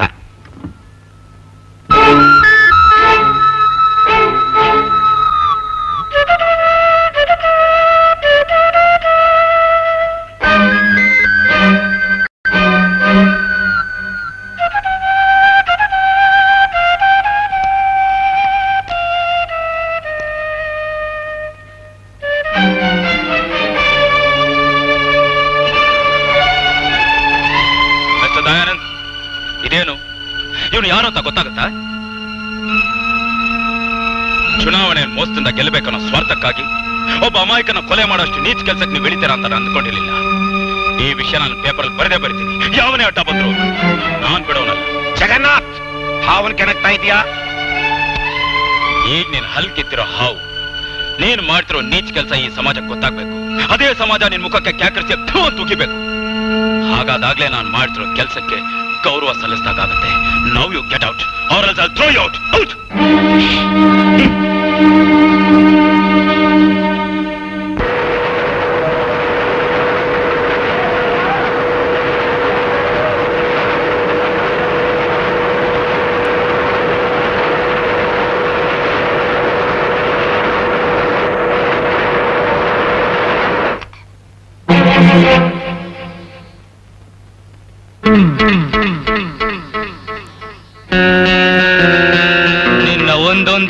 ಅಂಗಾಂಗಗಳ ಜೊತೆ ನೀನು ದೇಹ ಸಹಿತ ಹೊರಗೋಗಬೇಕು ಅನ್ನೋ ಆಸೆ ನಿನಗಿದೆಯಾ? ಇದ್ರೆ ಒಂದೇ ಒಂದು ಬಿಡಿ ಪತ್ರಿಕೆನು ಈ ಪ್ರೆಸ್ನಿಂದ ಆಚೆ ಹೋಗ್ಬಿಡ್ದು. ಹ್ಮ್. ಹ್ಮ್. ಸರಿ ಒಂದು ಪತ್ರಿಕೆ ಬೇಕಾದ್ರೆ ನಿಮಗೆ ಫ್ರೀಯಾಗಿ ಕೊಡ್ತೀನಿ. ಇನ್ ಬಾಕಿ ಎಲ್ಲ ಪತ್ರಿಕೆಗಳು ಗಲ್ಲಿ ಗಲ್ಲಿಯಲ್ಲಿ ಬೀದಿ ಬೀದಿಯಲ್ಲಿ ಇನ್ ಸ್ವಲ್ಪ ಹೊತ್ತಿನಲ್ಲಿ ಜನ ಓದ್ತಾರೆ ಓದೋ ಹಾಗೆ ನಾನು ಮಾಡ್ತೀನಿ. ಅದನ್ನ ತಡೆಯಕ್ಕೆ ನೀವೇ ಅಲ್ಲ ಇನ್ ಯಾರಿಂದನೂ ಸಾಧ್ಯವಿಲ್ಲ. Switch on.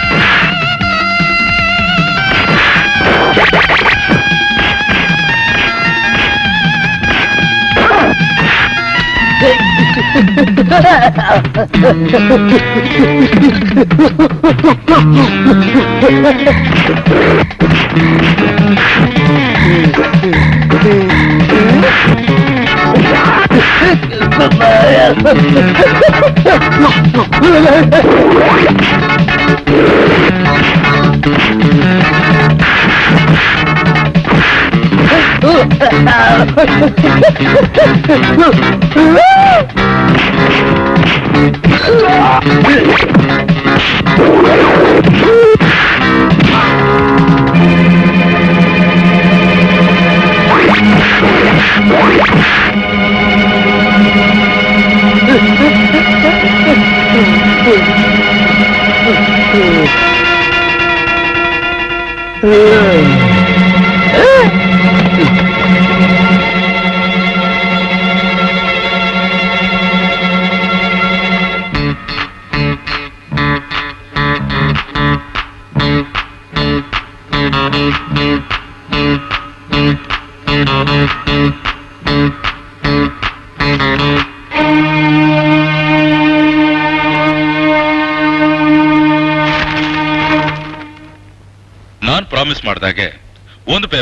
ಫ್ರೀಯಾಗಿ ಕೊಟ್ಟಿದ್ದೀನಿ. ಅದ್ರಲ್ಲಿ ಬರೀ ನಿಮ್ಮ ಯಜಮಾನ್ರ ಸುದ್ದಿನೇ ಇರೋದು. ಓದ್ರೋ ದಟ್ಸ್ ಗುಡ್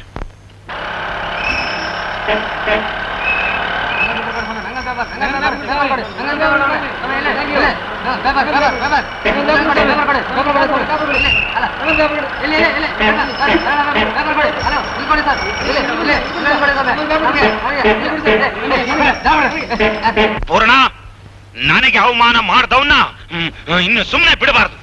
ಹೌದು ಖಂಡಿತ ಬಿಡಬಾರ್ದು.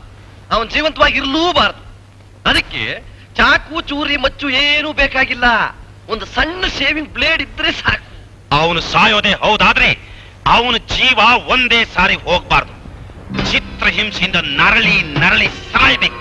ಅವನ ಒಂದೊಂದು ಹನಿ ರಕ್ತಾನು ನಾನು ಹೀರ್ಬೇಕು. ಪ್ರತಿಯೊಂದು ಅಕ್ಷರಾನು ನಾನು ಹೇಳಿದ ಹಾಗೆ ಬರೀಬೇಕು. ಏನು? ಈ ರಾಯಲ್ ಸಲೂಟ್ ನಿನ್ನ ಮನೆಗೆ ಬಂದು ನಿಮ್ಮ ಅಪ್ಪ ಅಮ್ಮ ಮುಂದೆ ನಿಜ ಒಪ್ಕೊಳ್ಳೋದ? ಇಂಪಾಸಿಬಲ್ ನೋಡು ಮರಿ ಹೆಣ್ಣು ಮಕ್ಕಳು ಯಾವಾಗಲೂ ನಿನ್ನಷ್ಟು ಅಮಾಯಕರಾಗಿರಬಾರ್ದು. ತಪ್ಪಾಗುತ್ತೆ. ಗೊತ್ತಾ ಮರಿ? ಹಾಗಾದ್ರೆ ದೇವ್ ಸಾಕ್ಷಿ ಕಟ್ಟಿದ ಈ ತಾಳಿ? ತಾಳಿ. ಹಾ ದಾರ. ನೋ ಪ್ರತಿ ವರ್ಷ ನನ್ನ ಮನೆಗೆ ತೆರಿಗೆ ಕಟ್ತೀನಿ. ಯಾಕೆ? ನಾನು ವಾಸ ಮಾಡೋಕೆ. ಓಡಿಸೋ ಗಾಡಿಗೂನು ತೆರಿಗೆ ಕಟ್ತೀನಿ. ಯಾಕೆ? ಓಡ್ಸೋಕೆ. ಈಗ ತೆರಿಗೆ ಬದಲು ನಿನಗೆ ತಾಳಿ ಕಟ್ಟಿದ್ದೀನಿ. ಯಾಕೆ? ನನ್ನ ಸ್ವಂತ ಉಪಯೋಗಕ್ಕೋಸ್ಕರ. ನೋಡು ಮರಿ ಒಂದು ವರ್ಷ ಆದ್ಮೇಲೆ ತೆರಿಗೆ ಲ್ಯಾಪ್ಸ್ ಆಗುತ್ತೆ. ಹಾಗೇನೆ ನೀನು ಲ್ಯಾಪ್ಸ್ ನಿನ್ನ ತಾಳಿನೂ ಲ್ಯಾಪ್ಸ್. ತಿರ್ಗ ರಿನ್ಯೂವಲ್ ಆಗೋಲ್ಲ. ಮಾತ್ನಲ್ಲೇ ಮರಳು ಮಾಡಿ ಈ ರೀತಿ ನಡೆ ನೀರಲ್ಲಿ ಮುಳುಗ್ತೀರಿ ಅಂತ ನಾನು ಅನ್ಕೊಂಡಿರ್ಲಿಲ್ಲ. ಕಾರ್ಯವಾಸೆ ಕತ್ತೆ ಕಾಲು ಹಿಡಿ ಅಂದಾಗೆ ಕಾರ್ಯ ಆಗೋವರೆಗೂ ಒನ್ ಟ್ವೆಂಟಿ ಕಿಲೋಮೀಟರ್ ಸ್ಪೀಡ್ನಲ್ಲಿ ಹೋಗ್ತಾ ಇರ್ತೀನಿ. ಒನ್ಸ್ ಕಾರ್ಯ ಮುಗಿದ ಮೇಲೆ ಟೂ ಹಂಡ್ರೆಡ್ ಕಿಲೋಮೀಟರ್ ಸ್ಪೀಡ್ನಲ್ಲಿ ತಳ್ಳಾದ್ರೂ ಹೊರಟೋಗ್ತೀನಿ ಅದು ನನ್ನ ಅಭ್ಯಾಸ ಮರಿ. ಇಂಥ ಪವಿತ್ರವಾದ ಬಂಧನವನ್ನು ಇವತ್ತು ನೀನೇನೋ ಕಿತ್ತಿಸ್ಬಿಟ್ಟೆ ಆದ್ರೆ ಮುಂದೆ ನಿನ್ಗೆ ಇದೇ ಸಾವಿನ ಬಂಧ ಆಗುತ್ತೆ ಅನ್ನೋದನ್ನ ನೆನಪಲ್ಲಿಟ್ಕೋ ನಾನು ಮೋಸ ಮಾಡ್ದಾಗೆ ಬೇರೆ ಯಾವ ಹೆಣ್ಗೂ ಮೋಸ ಮಾಡ್ಬೇಡ. ಎಣ್ಣೆ ನಿಟ್ಟಿಸ್ರು ನೀನ್ ಅಂಗಾಂಗನ ಸುಡುತ್ತೆ ಅನ್ನೋದನ್ನ ಮರಿಬೇಡ. ನಿನ್ನ ಮಾತನ್ನ ನಾನು ಜ್ಞಾಪಕದಲ್ಲಿ ಇಟ್ಕೊಂಡಿರ್ತೀನಿ. ಓಕೆ ಮರಿ. See you, my See you.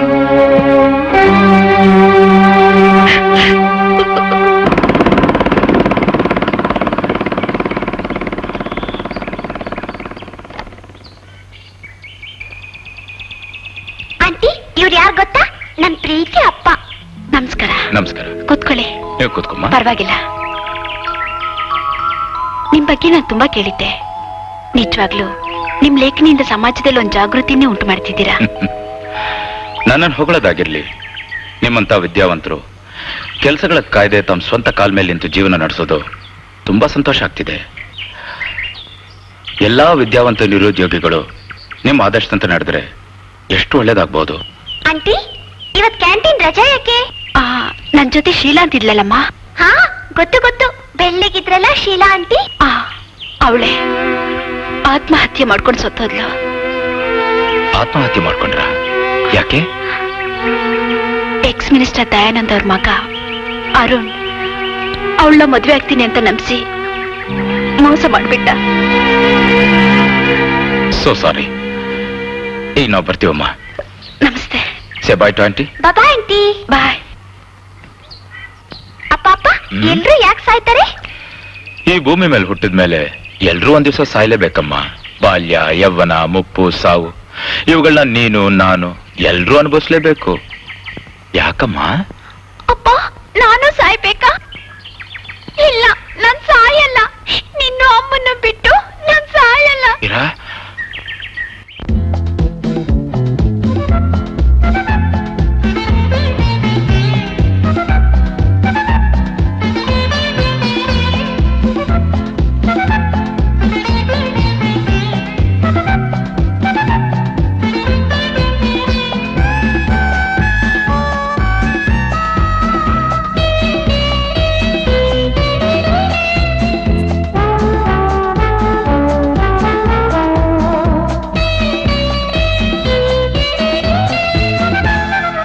ಹಗಲು ರಾತ್ರಿ ಅನ್ನೋದೆಲ್ಲ ಕಣ್ಣ ಮುಚ್ಚಲೆ. ನಮ್ಮ ಬಾಳು ಅತ್ತ ಇತ್ತ ಆಡ ಉಯ್ಯಲೆ ಹಗಲು ರಾತ್ರಿ ಅನ್ನೋದೆಲ್ಲ ಕಣ್ಣ ಮುಚ್ಚಲೆ. ನಮ್ಮ ಬಾಳು ಅತ್ತ ಇತ್ತ ಆಡ ಉಯ್ಯಲೆ ಹುಟ್ಟು ಸಾವು ಅನ್ನೋದೆಲ್ಲ ದೇವರ ಲೀಲೆ. ಈಗ ಕಾಣೋದೊಂದೇ ಸತ್ಯ ಏನು ಆಮೇಲೆ?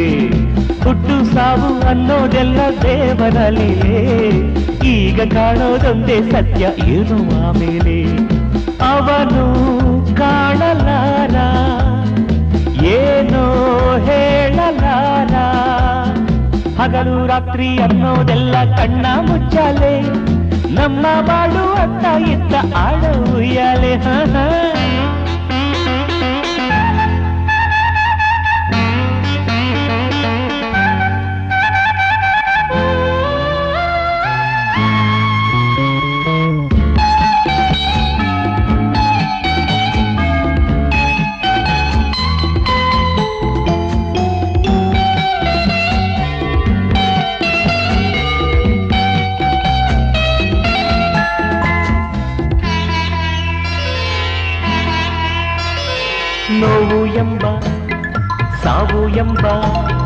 ಮಾತೆ ಸತ್ತರೆ ಆಗ ನಮ್ಮ ಲೋಕದ ಗತಿಯೇನು ಬಂದೋರೆಲ್ಲ ಇಲ್ಲೇ ಇರಲು ಹೊಸ ಹೊಸದಾಗಿ ಪುಟ್ಟ ಪುಟ್ಟ ಮಕ್ಕಳ ಪಾಡೇನು? ಈ ಭೂಮಿ ಭಾರ ಆಳದೆ ಹೋದಿತು, ತಾನಾಗಿ ಕುಸಿದು ಹಳೆಯಾದಿತು ಈ ಭೂಮಿ ಭಾರ ತಾಳದೆ ಹೋದಿತು, ತಾನಾಗಿ ಕುಸಿದು ಪ್ರಳಯ ಆದೀತು ಅವನು ಕಾಣಲಾರ ಏನು ಹೇಳಲಾರ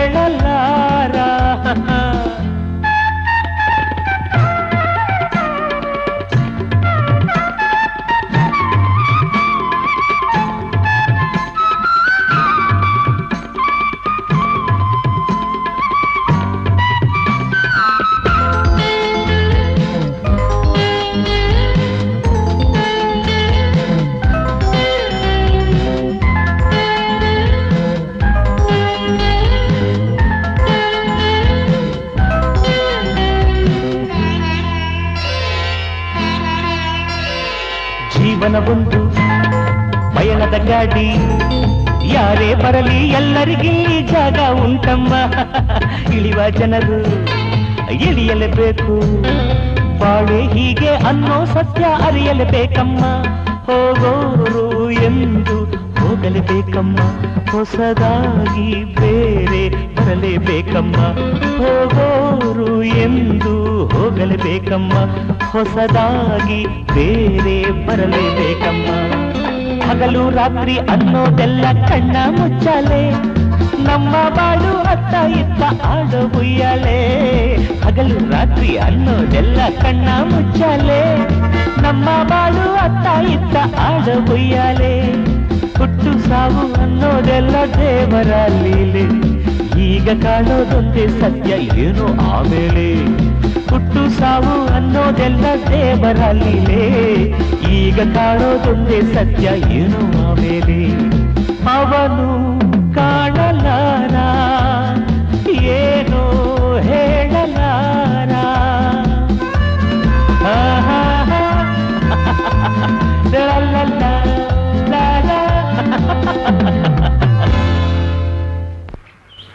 ಆಂಟಿ, ನಿಮ್ಮನ್ನ ಎಷ್ಟು ಅಂತ ಹುಡ್ಕೋದು? ಯಾಕೆ ಮೀರಾ? ನಾಳೆ ನನ್ ಬಟ್ಟೆ ಅದಕ್ಕೆ ನೀವು ಬರ್ಬೇಕು. ಆಂಟಿ ಮಾತ್ರ ಬರ್ಬೇಕಾ? ಅಂಕಲ್ ಬರ್ಬಾರ್ದಾ? ಆಂಟಿನ ಕರೆದ್ಮೇಲೆ ಅಂಕಲ್ ಬಂದೇ ಬರ್ತಾರೆ ಅಂತ ನಂಗೆ ಗೊತ್ತು. ಅದಕ್ಕೆ ಕರೀಲಿಲ್ಲ. ಹೌದಾ? ಆಂಟಿ ನಾಳೆ ಬರ್ತೆ ನೀವಿಬ್ರು ಬರ್ಲೇಬೇಕು. ಈಗ ನಿಮ್ಗೆ ತೊಂದರೆ ಕೊಡಲ್ಲ ನೀವಿಬ್ರು ಮಾತಾಡ್ಕೊಳ್ಳಿ. ನಾನ್ ಬರ್ತೀನಿ. Bye bye bye Happy to you happy Happy to you. Happy birthday to you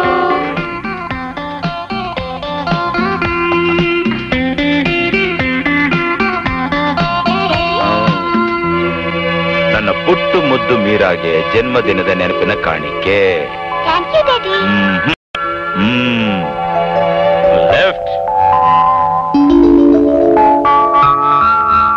right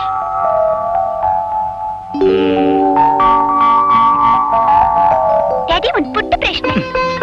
ಮತ್ತೆ ಶುರುನಾ? ಕೇಳಮ್ಮ. ಒಬ್ಬ ಮನುಷ್ಯನ್ಗೆ ತುಂಬಾ ಮರುವು ನಿತ್ಯ ಒಂದಿನ ಮರಿತಾ ಇದ್ದ ಒಂದ್ ದಿವಸ ಮಲಗಿದ್ದವನು ಬೆಳಗ್ಗೆ ಏನಾದ್ರೂ ಹೇಳಲೇ ಇಲ್ಲ ಅವನೇನೇನ್ ಮರ್ತಿದ್ದಾನೆ ಆ ಏಳು ದಿನ ಮರ್ತಿದ್ದಾನೆ ತಪ್ಪು ತಪ್ಪು ಉಸಿರಾಡೋದನ್ನೇ ಮರ್ತಿದ್ದಾನೆ ಓಹೋ ಇದ ಇದಾ ಇದು ನನಗೆ ಮುಂಚೆನೆ ಗೊತ್ತಿತ್ತು ಉತ್ತರ ಹೇಳಕ್ ಮರ್ತಿದ್ದೆ ಅಷ್ಟೇ ಹೇಳಕ್ ಮುಂಚೆ ಕಷ್ಟ ಹೇಳಿದ್ವಿ ಸುಲಭ ಆ, ಕಷ್ಟ ಕಷ್ಟ.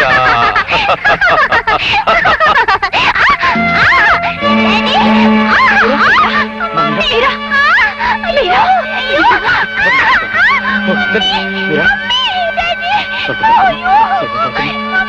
ಜಾನಕಿ ಬೇಗ ಬಾ ಬೇಗ ಬಾ ಜಾನಕಿ ಡ್ಯಾಡಿ, ಡ್ಯಾಡಿ, ನೋವು, ನೋವು. ತಗೋ ಮಾತಾಡ್ಬೇಕು ನೀರು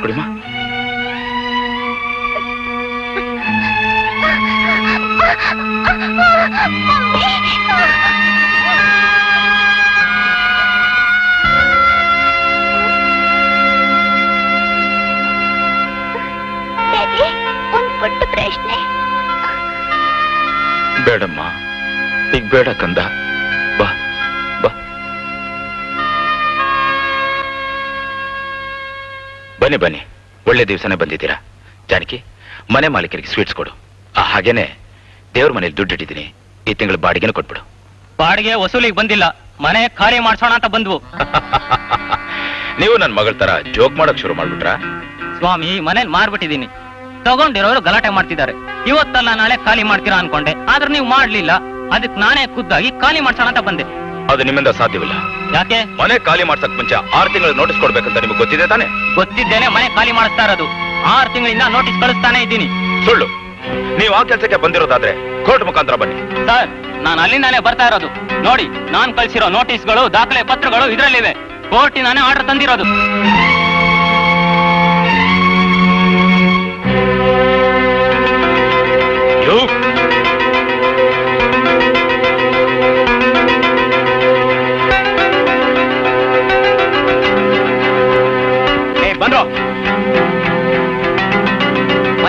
ஒரிஜினல் வரலாற்றம்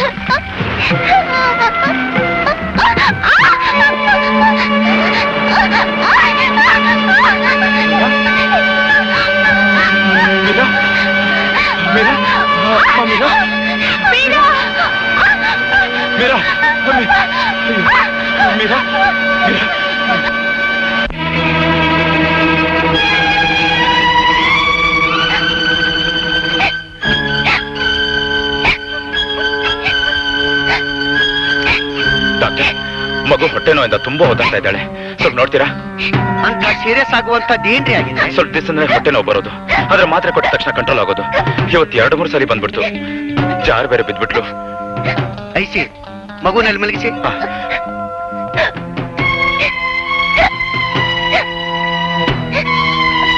ನೋಡಿ ಸರ್. ಮಗುಗೆ ಎಷ್ಟು ವರ್ಷ? ಇವತ್ತು ಹತ್ತು ವರ್ಷ sir.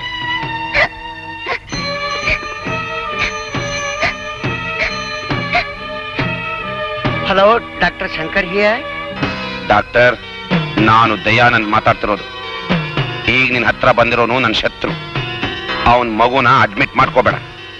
ಅವನ್ ಎಷ್ಟೇ ಕೇಳ್ಕೊಂಡ್ರು ಆ ಮಗುಗೆ ಟ್ರೀಟ್ಮೆಂಟ್ ಕೊಡಬೇಡ. ನಿನ್ನನ್ನ ಸಸ್ಪೆಂಡ್ ಮಾಡಿಸ್ದವನು ಅವನೇ ಅನ್ನೋದನ್ನ ಮರಿಬೇಡ. ಅಂಡರ್ಸ್ಟ್ಯಾಂಡ್ ಎಸ್ ಸರ್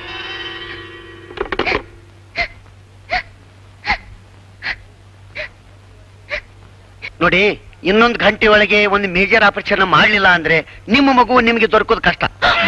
ಅದ್ರ ಮೊದಲು ಮಗುವಿಗೆ ಹೊಂದುವಂತ ರಕ್ತ ಬೇಕೇ ಬೇಕು. ಡಾಕ್ಟರ್ ನನ್ನ ರಕ್ತ ಒಳಗೊಂದುತ್ತೆ ವೆರಿ ಗುಡ್ ಒಂದ್ ಸಮಸ್ಯೆ ಪರಿಹಾರ ಆದಾಗ ಆಯ್ತು.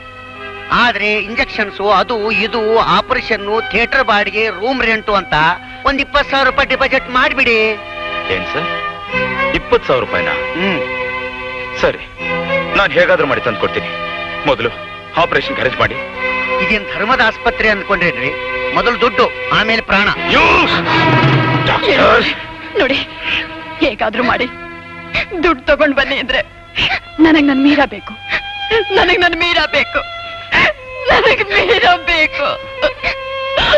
ನನಗ್ ಮೀರ ಬೇಕು ಅಂದ್ರೆ.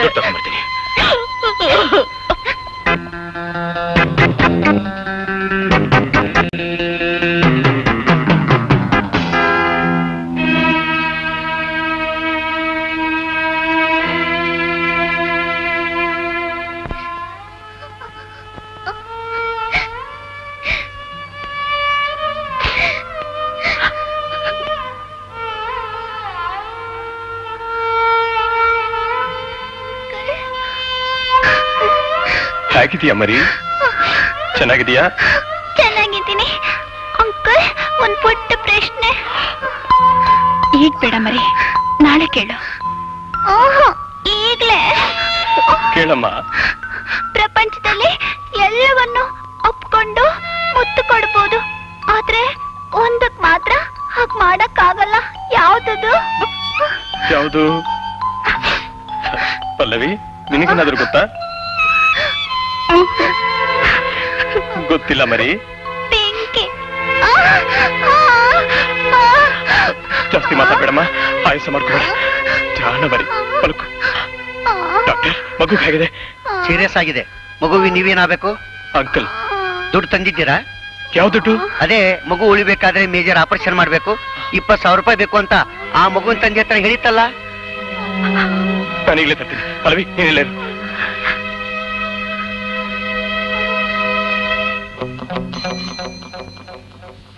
ಹಲೋ ಡಾಕ್ಟರ್ ರಮೇಶ್ ಯಾರ್? ಆ ಹೆಂಗ್ಸು ಜಾನ್ ಕಂಪ್ನಿಂದ ಎಷ್ಟು ಬಾಟ್ಲು ಬ್ಲಡ್ ಕಲೆಕ್ಟ್ ಮಾಡಿದ್ದೀರಾ? ಹಾ ಹಾ ಅದನ್ನ ತಕ್ಷಣ ಇಲ್ಲ ಕಳಿಸಿ. ಎರಡು ಬಾಟ್ಲಿ ಸರ್ ಸರ್ ಈ ರಕ್ತ ಕುಡ್ದೆ ಹೋದ್ರೆ ಆ ಮಗು ಜೀವ ಉಳಿಯಲ್ಲ ಸರ್ ಏ ನಾ ಹೇಳ್ದಷ್ಟು ಕೇಳ್ರಿ. ಅದನ್ನ ತಕ್ಷಣ ಇಲ್ಲಿ ಕಳಿಸ್ಕೊಡಿ. ಅಂಡರ್ಸ್ಟ್ಯಾಂಡ್ ಸರಿ ಸರ್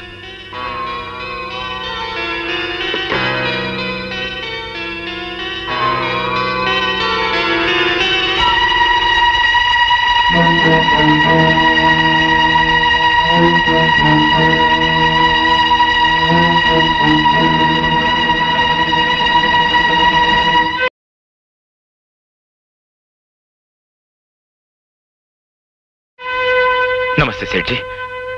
ಆಯ್ಯ ಅಯ್ಯ ಜಗನ್ನಾಥ್ ಬೇಟಿಯೇ ಬೋಲಿ ನನ್ಗೆ ಅರ್ಜೆಂಟ್ ಹಣ ಬೇಕು. ಅದಕ್ಕೆ ಇಷ್ಟೊತ್ತಿನಲ್ಲಿ ಬರಬೇಕು ನೀವು? ನನ್ನ ಮಗು ಸಾಯ ಸ್ಥಿತಿಯಲ್ಲಿದೆ. ನನಗೆ ಅರ್ಜೆಂಟ್ ಹಣ ಬೇಕು. ಸೋ? ಯಾ ದೋಸೋ ಇಪ್ಪತ್ತು ಸಾವಿರ ರೂಪಾಯಿ. ಇಪ್ಪತ್ತು ಸಾವಿರ? ನಿಮ್ದು ಪ್ರೆಸ್ ಮೇಲೆ ನಮ್ದು ಹತ್ರ ಮಾಡಿರುವ ಸಾಲ ಇನ್ನು ಕಾಲ್ ಭಾಗನೂ ತೀರಿಲ್ಲ. ಮತ್ತೆ ಇಪ್ಪತ್ತು ಸಾವಿರ ಬೇಕು ಅಂದ್ರೆ ಹೇಗೆ? ಸಜ್ಜಿ ನಾನು ಹೇಗಾದ್ರೂ ಮಾಡಿ ನಿಮ್ ಸಾಲನ ತೀರಿಸ್ತೀನಿ. ನನ್ನ ಮಗು ಉಳಿಬೇಕು. ನೀವೀಗ ಹಣ ಕೊಡೋದ್ರಿಂದ ಒಂದು ಜೀವನ ಉಳಿಸ್ದಂಗಾಗುತ್ತೆ ದಯವಿಟ್ಟು ಇಲ್ಲ ಅಂತ ಹೇಳ್ಬೇಡಿ ಸಜ್ಜಿ ಸಜ್ಜಿ ಪ್ಲೀಸ್ ಅಚ್ಛಾ ನಿಮ್ದು ಮೇಲೆ ನಮ್ಗೆ ನಂಬಿಕೆ ಇದೆ. ಕೊಡ್ತೀನಿ. ಇದು ಬಾಣಪತ್ರ ಭರ್ತಿ ಮಾಡಿ ಬರ್ತೀನಿ. ಅರ್ಧ ಗಂಟೆ ಕೂತಿರಿ. ಆ? ಅರ್ಧ ಗಂಟೆ ಕಾಯೋಷ್ಟು ಟೈಮ್ ನನಗಿಲ್ಲ. ಬೇಕಾದ್ರೆ ಈ ಖಾಲಿ ಪತ್ರದಲ್ಲಿ ಸೈನ್ ಮಾಡ್ಕೊಡ್ತೀನಿ. ಆಮೇಲೆ ನೀವು ಭರ್ತಿ ಮಾಡ್ಕೊಳ್ಳಿ. ಹಣ ಕೊಡಿ.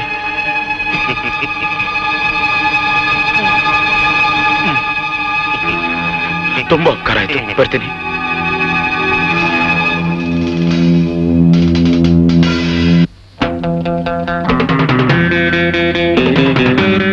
ಯಾಕೆ ಶ್ರೀಧರ್, ಈ ತರ ಓಡ್ತಿದ್ಯಾ? ಏನಾಯ್ತು? ನನ್ ಪ್ರಾಣ ಪ್ರಾಣ ಆಗಿರೋ ಮೀರಾ ಈಗ ಸಾವಿದ್ದ ಅವಳೇಲಿದ್ದಾಳೆ ನನ್ ಜೀವ ಕೊಟ್ಟಾದ್ರೂ ಸರಿ ನಾನು ಉಳಿಸ್ಕೋಬೇಕು. ನನಗೆ ಹಣ ಭಿಕ್ಷಕ ಎಲ್ಲಾ ಕಡೆ ಎಲ್ಲಾ ಕಡೆ ಹುಡುಕ್ ನೋಡಿದೆ. ಎಲ್ಲೂ ಸಿಗ್ಲಿಲ್ಲ. ನಿಂಗ್ ಹಣ ತಾನೇ ಬೇಕು? ನನ್ ಜೊತೆ ಬಾ. ನಾ ಕೊಡಿಸ್ತೇನೆ.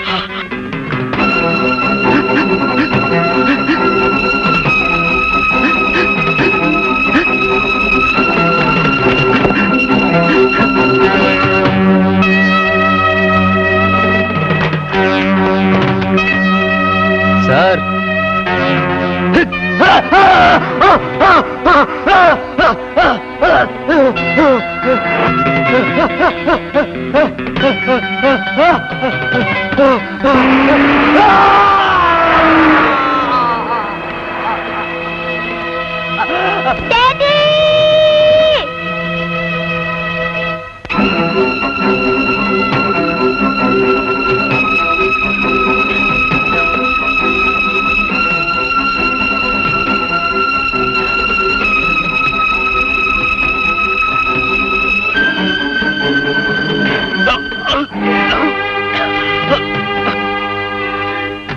ನೀನಾ? ಹೌದು.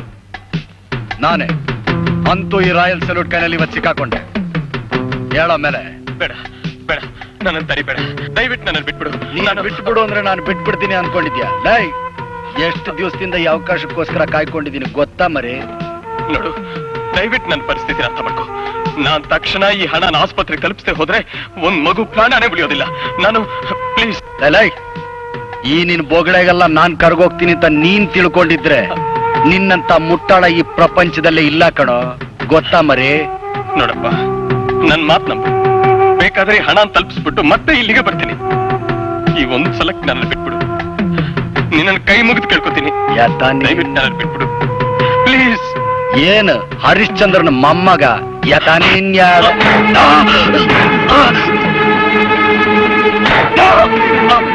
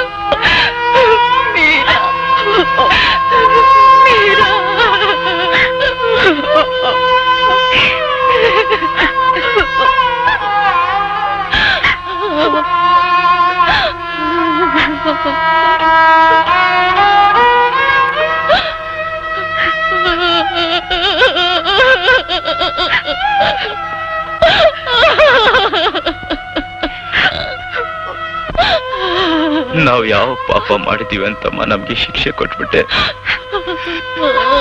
ಒಂದು ಪ್ರಶ್ನೆ ಒಂದು ಪ್ರಶ್ನೆ ಅಂತ ನಮ್ಗೆಲ್ರನ್ನು ಕೇಳ್ತಿದ್ಯಲ್ಲಮ್ಮ. ನೀನೇ ನಮ್ಮೆಲ್ರಿಗೊಂದು ಪ್ರಶ್ನೆ ಆಗ್ಬಿಟ್ಟಿಯಲ್ಲ ನೋಡು, ನೀನ್ ಏನೇ ಪ್ರಶ್ನೆ ಕೇಳಿದ್ರು ನಾನ್ ನಿನ್ಗೆ ಉತ್ತರ ಕೊಡ್ತೀನಿ. ಮಾಮೇರ, ಒಂದೇ ಒಂದ್ ಪ್ರಶ್ನೆ ಕೇಳಮ್ಮ. ಒಂದೇ ಒಂದ್ಸಲ mata da kanda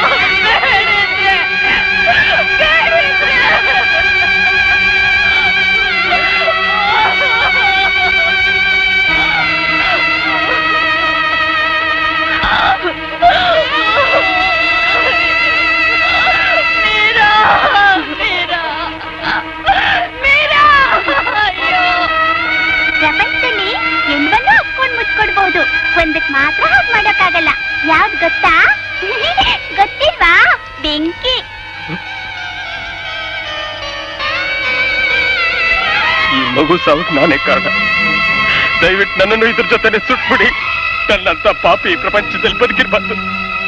ನಿಮ್ಮ ಕೈಯಾರ ನನ್ನನ್ನು ಸುಟ್ಬಿಡಿ ನನ್ನನ್ನು ಸುಟ್ಬಿಡಿ ನನ್ನನ್ನು ಸುಟ್ಬಿಡಿ. ಶ್ರೀಧರ್ ನಿನ್ನನ್ನು ಸುಟ್ರೆ ನನ್ನ ಮಗಳು ಬದುಕ್ ಬರ್ತಾಳ.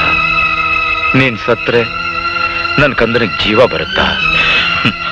ಆ ರೀತಿ ಆಗೋದಾದ್ರೆ ನಿನ್ ಜೀವ ಯಾಕೆ ಬೇಕಾಗಿತ್ತು? ನನ್ನ ಜೀವನೇ ಕೊಡ್ತಿದ್ನಲ್ಲ. ಹೇಳಿ ಸರ್ ಏನ್ ಮಾಡ್ಬೇಕು ಹೇಳಿ ಸರ್? ಹತ್ತು ಜನಕ್ಕೆ ಉಪಕಾರ ಆಗೋ ಹಾಗೆ ಬದುಕ್ತೀನಂತ ನಿರ್ಧಾರ ಮಾಡು. ಜೀವನದಲ್ಲಿ ನೀನು ಇಲ್ಲಿವರೆಗೂ ನಡ್ಕೊಂಬಂದಿರೋ ದಾರಿನ ಈ ಕ್ಷಣದಿಂದ ಬದಲಾಯಿಸ್ಕೋತೀನಂತ ನನ್ನ ಮಗಳು ಮೀರಾ ಮೇಲೆ ಪ್ರಮಾಣ ಮಾಡಿ ಹೇಳು. Sir?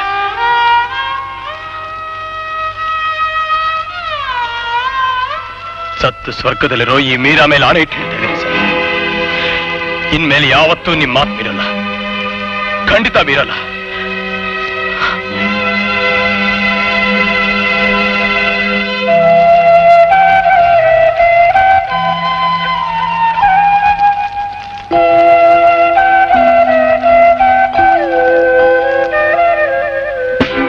Jagannath your under Aras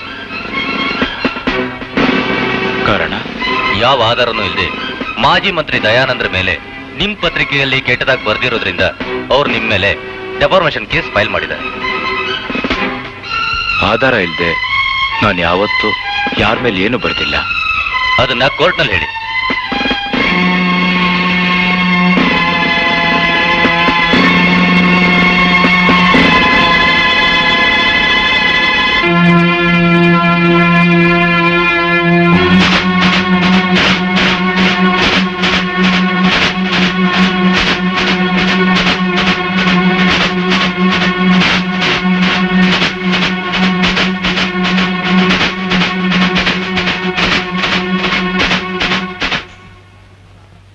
ಧ್ವನಿ ಪತ್ರಿಕೆಯ ಸಂಪಾದಕರು, ಪ್ರಕಾಶಕರು ಆದ ಜಗನ್ನಾಥ್, ಮಾಜಿ ಮಂತ್ರಿ ದಯಾನಂದ ಅವರ ಮೇಲೆ ಬರೆದಿರುವ ಲೇಖನಗಳು ನಿರಾಧಾರವೆಂದು, ವೈಯಕ್ತಿಕ ದ್ವೇಷವೇ ಇದಕ್ಕೆ ಕಾರಣವೆಂದು ರುಜುವಾತಾದ್ದರಿಂದ ಸಮಾಜದಲ್ಲಿ ಗೌರವಾನ್ವಿತ ವ್ಯಕ್ತಿಯೊಬ್ಬರ ತೇಜೋವಧೆ ಮಾಡುವ ಬರಹಗಳನ್ನು ಸೃಷ್ಟಿಸಿ, ಪ್ರಕಟಿಸಿದ ಅಪರಾಧಕ್ಕಾಗಿ ಅಪರಾಧಿಗೆ ಇನ್ನೂರ ಹದಿನಾರನೇ ಸೆಕ್ಷನ್ ಪ್ರಕಾರ ಆರು ತಿಂಗಳು ಸಜಾ ವಿಧಿಸಲಾಗಿದೆ.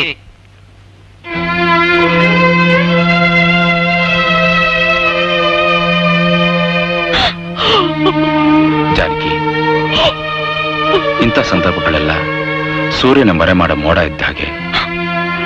ಸ್ವಲ್ಪ ಗಾಳಿ ಬೀಸಿದ್ರೆ ಹೊರಟೋಗುತ್ತೆ ನನಗೇನಿಲ್ಲ ರೀ. ವಯಸ್ಸಿಗೆ ಬಂದ ಹುಡುಗಿ ಕವಿತೆ ನಿಟ್ಕೊಂಡು ಹೇಗಿರ್ಲಿ ಎಲ್ಲಿ ಇರ್ಲಿ? ನಾನೊಬ್ಳಿದ್ದೀನಿ ಅನ್ನೋದೇ ಮರ್ತ್ಬಿಟ್ರ? ಅವ್ರ ಹೊರಗಡೆ ಬರೋವರೆಗೂ ನೀವು ನಮ್ಮನೇಲಿ ಇರಬಹುದು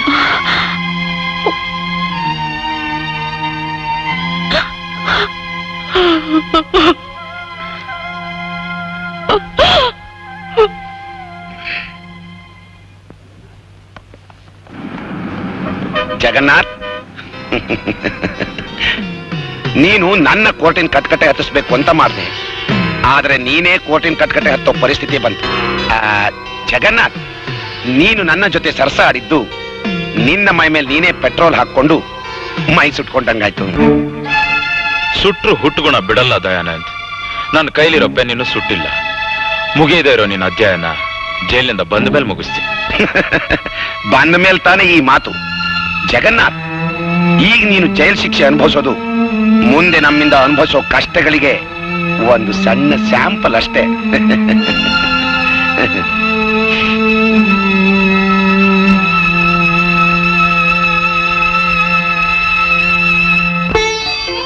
ಸರ್ವೋಪಚಾರಾರ್ಥೆ ಪುಷ್ಪಾಣಿ ಸಮರ್ಪಯಾಮಿ ಆ ವಿಘ್ನೇಶ್ವರ ನಿಮಗೆ ಆಯುರಾರೋಗ್ಯ ಕೊಡಲಿ. ಅದ್ಯಾಕಮ್ಮ ಹಾಗೆ ನೋಡ್ತಾ ಇದ್ದೀರಿ? ದಿನ ಇದು ಮಾಮೂಲೆ. ಈ ವಯಸ್ಸಲ್ಲಿ ಅದು ಏನು ಭಕ್ತಿ, ಏನು ಪೂಜೆ, ಏನು ಪುನಸ್ಕಾರ. ಆಹಾ ಇಂಥವ್ರು ಸಾವಿರಕ್ಕೊಬ್ರಿಲ್ಲ ಅಮ್ಮ ಲಕ್ಷಾಂತರ ರೂಪಾಯಿ ಹಣ ಇದ್ರು. ಒಂದ್ ಅಹಂ ಆಗ್ಲಿ, ಒಂದು ಗತ್ತಾಗ್ಲಿ, ಒಂದ್ ದರ್ಪ ಆಗ್ಲಿ ಇವ್ರ ಹತ್ರ ಇಲ್ಲ ಅಮ್ಮ ದಾನಶೂರ ಕರ್ಣ ಅಂತ ಇಂಥವ್ರಿಗೆ ನೀವು ಹೇಳಬೇಕು. ಇನ್ನು ಕಾಲ ಕಾಲಕ್ಕೆ ಮಳೆ ಬೆಳೆ ಆಗ್ತಿರೋದು ಅಂದ್ರೆ ಇಂಥವ್ರು ಇರೋದ್ರಿಂದಾನೇ ಅಮ್ಮ. ಪೂಜಾರ್ರೆ ಬೇರೆಯವ್ರ ಮುಂದೆ ನನ್ನನ್ನು ಇಷ್ಟು ಹೊಗಳಿದ್ರೆ ನನಗೊಂಥರ ಆಗುತ್ತೆ. ನನ್ನ ಹತ್ರ ಎಷ್ಟು ದುಡ್ಡಿದ್ರಿಗೇನು ಎಲ್ಲ ಆ ಭಗವಂತ ಕೊಟ್ಟಿದ್ದಾನೆ. ಅನಾಥ ಮಕ್ಕಳಿಗೆ, ಬಡವರಿಗೆ, ನೊಂದ ಹೆಣ್ಣು ಮಕ್ಕಳಿಗೆ ನನ್ನ ತನು, ಮನ ದನ ಎಲ್ಲ ಅರ್ಪಿತ ಪೂಜಾರ್ರೆ. ನಾನಿನ್ ಬರ್ತೀನಿ. ಅಮ್ಮ ಪ್ರಸಾದ ಹಿಡಿಯಿರಿ. ನಾನ್ ಬರ್ತೀನಿ.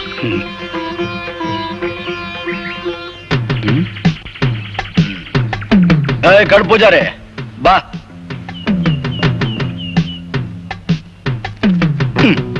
ಬುದ್ಧಿ ತೋರಿಸ್ಬಿಟ್ಟೆ ನೋಡಿದ್ಯಾ? ಕಟ್ಟು ಸರಿಯಾಗಿದೆ ಮಧ್ಯ ಒಂದ್ ನೋಟು. ಇಲ್ಲಿದ್ಯಾ? ನನ್ ಹೆಂಡತಿ ಒಂದ್ ಸೀರೆ ಬೇಕು ಅಂತ ಹೇಳಿದ್ಲು. ಅದಕ್ಕೆ ಕೊಡ್ಸೋಣ ಕೊಡ್ಸೋಣ. ಮೊದಲು ಇಲ್ಲಿ ನಿಂತಿದ್ದಲ್ಲ ಹುಡುಗಿ ಅವಳ ಮನಸ್ಸಿಗೆ ಹೇಗಾದ್ರೂ ನನ್ನ ಕಡೆ ವಾಲೋ ಹಾಗೆ ಮಾಡಬೇಕು. ಇಲ್ಲದೆ ಹೋದ್ರೆ ನನ್ನ ಹ್ಯಾಂಡ್ ಪವರ್ ಗೊತ್ತಲ್ಲ. Two hundred kilometre speed.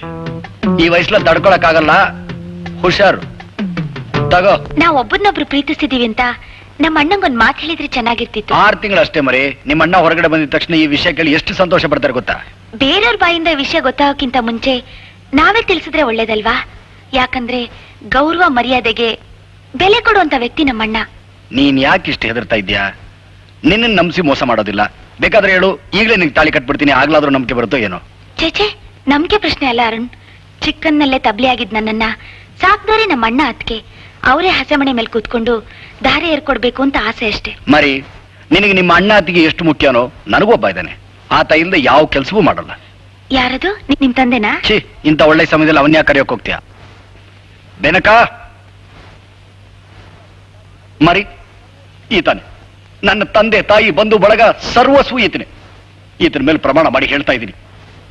ನಿನಗೋಸ್ಕರ ನನ್ನ ತಂದೆ ಆಸ್ತಿ ಪಾಸ್ತಿ ಎಲ್ಲ ಬಿಡೋಕ್ಕೂ ಸಿದ್ಧ ಆದರೆ ಯಾವುದೇ ಕಾರಣಕ್ಕೂ ನೀನು ಬಿಡೋದಿಲ್ಲ.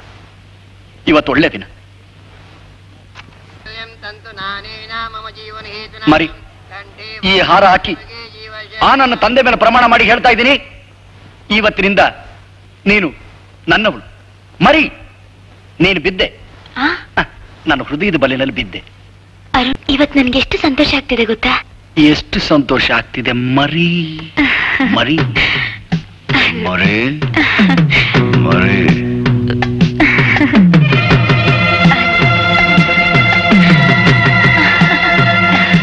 ಮರಿ.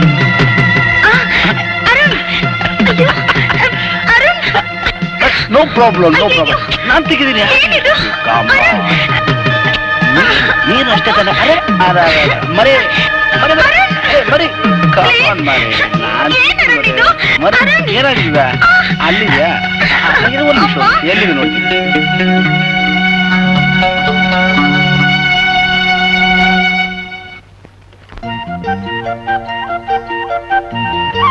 ಪಲ್ಲವಿ ನಾನು ನಿನ್ನಿಂದ ದೂರ ಇರ್ಬೋದು.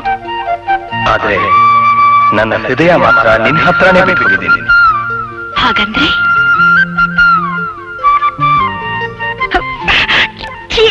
ಬಿಡಿಪ್ಪ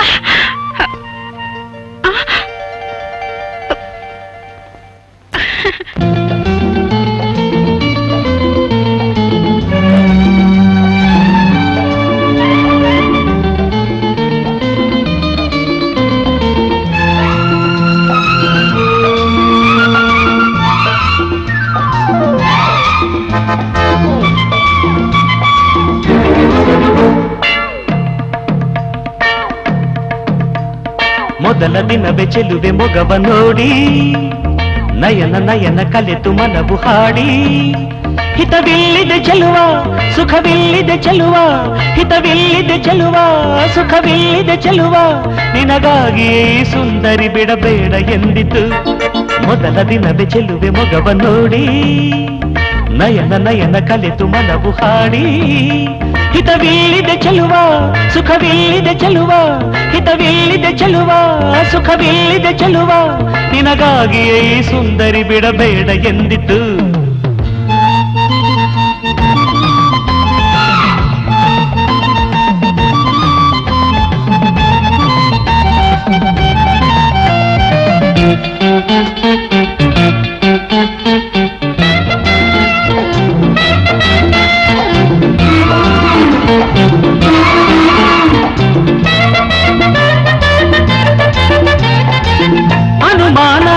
ಪಡಬೇಡವೆ ಚಿನ್ನ. ಬಿಡನೆಂದು ನನ್ನಾಣೆಗು ನಿನ್ನ. ಅನುಮಾನ ಪಡಬೇಡವೆ ಚಿನ್ನ. ಬಿಡನೆಂದು ನನ್ನಾಣೆಗು ನಿನ್ನ. ಬಿಸಿಲೇನು, ಚಳಿಯೇನು, ಮಳೆಯೇನು, ಸಿಡಿಲೇನು, ದಿನವೂ ಹಗಲು ಇರುಳ ಜೊತೆಯಲ್ಲಿರುವೆನು. ಮೊದಲ ದಿನ ಬೆಚೆದುವೆ ಮೊಗವ ನೋಡಿ ನಯನ ನಯನ ಕಲೆತು ಮನವು ಹಾಡಿ. ಹಿತವೆಲ್ಲಿದೆ ಚೆಲುವ, ಸುಖವೆಲ್ಲಿದೆ ಚೆಲುವ, ಹಿತವೆಲ್ಲಿದೆ ಚೆಲುವ, ಸುಖವೆಲ್ಲಿದೆ ಚೆಲುವ, ನಿನಗಾಗಿ ಸುಂದರಿ ಬಿಡಬೇಡ ಎಂದಿತು.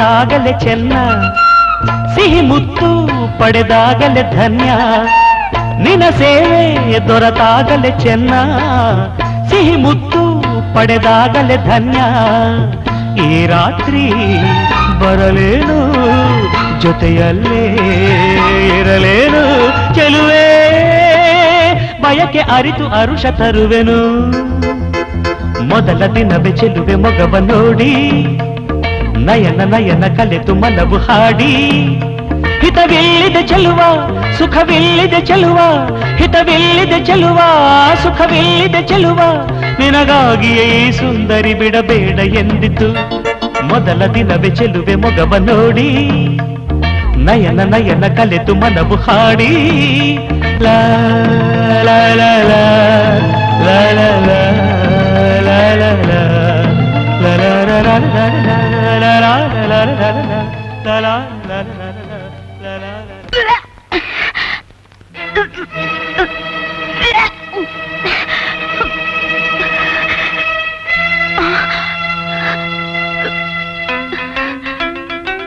ಏನ್ ವಿಷಯ? ಏನಿಲ್ಲ ಅದಕ್ಕೆ ನನ್ನ ಹತ್ರ ಸುಳ್ಳು ಹೇಳ್ಬೇಡ. ನಾನು ನಿನ್ ಬದಲಾವಣೆನ ಗಮನಿಸ್ತಾನೇ ಇದ್ದೀನಿ. ನಿಜ ಹೇಳು. ನೀರ್ ಹಾಕೊಂಡು ಎಷ್ಟು ದಿವಸ ಆಯ್ತು? ಮೂರು ತಿಂಗಳಾಯ್ತು. ಮೂರು ತಿಂಗಳು? ಅಣ್ಣನಿಗೆ ಜೈಲ್ನಲ್ಲಿ ಆರು ತಿಂಗಳು. ತಂಗಿಗೆ ಮದುವೆ ಆಗ್ತೇನೆ ಮೂರು ತಿಂಗಳು. ಏನಾಗ್ಬೇಕಿತ್ತು? ಇವತ್ತು ಇವ್ರ ಯಜಮಾನ ಜೈಲಿಂದ ಬಿಡುಗಡೆ ಆಗ್ತಿದ್ದಾರೆ. ಅವ್ರನ್ನ ಕರ್ಕೊಂಡು ಹೋಗೋಣ ಅಂತ ಬಂದ್ವಿ. ಯಾರು? ಜಗನ್ನಾಥ್ ಅಂತ. ಪತ್ರಕರ್ತ ಜಗನ್ನಾಥ? ಹೌದು. ಬಹಳ ಒಳ್ಳೆ ಮನುಷ್ಯ. ಅವ್ರು ಬಿಡುಗಡೆಯಾಗಿ ಅರ್ಧ ಗಂಟೆ ಆಯ್ತು. ಆಗ್ಲೇ ಹೊರಟೋದ್ರಲ್ಲ?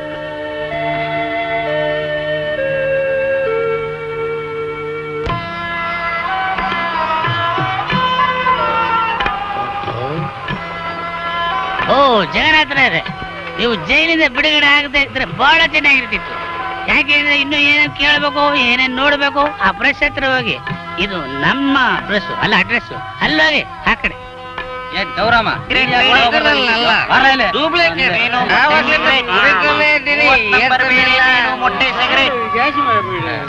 ಮೀನು ಮೊಟ್ಟೆ ಪೇಪರ್ನವನು ಸಾರಾಯಿ ಕುಡಿಯಕ್ ಬಂದ್ಬಿಟ್ಟ ಮೀನು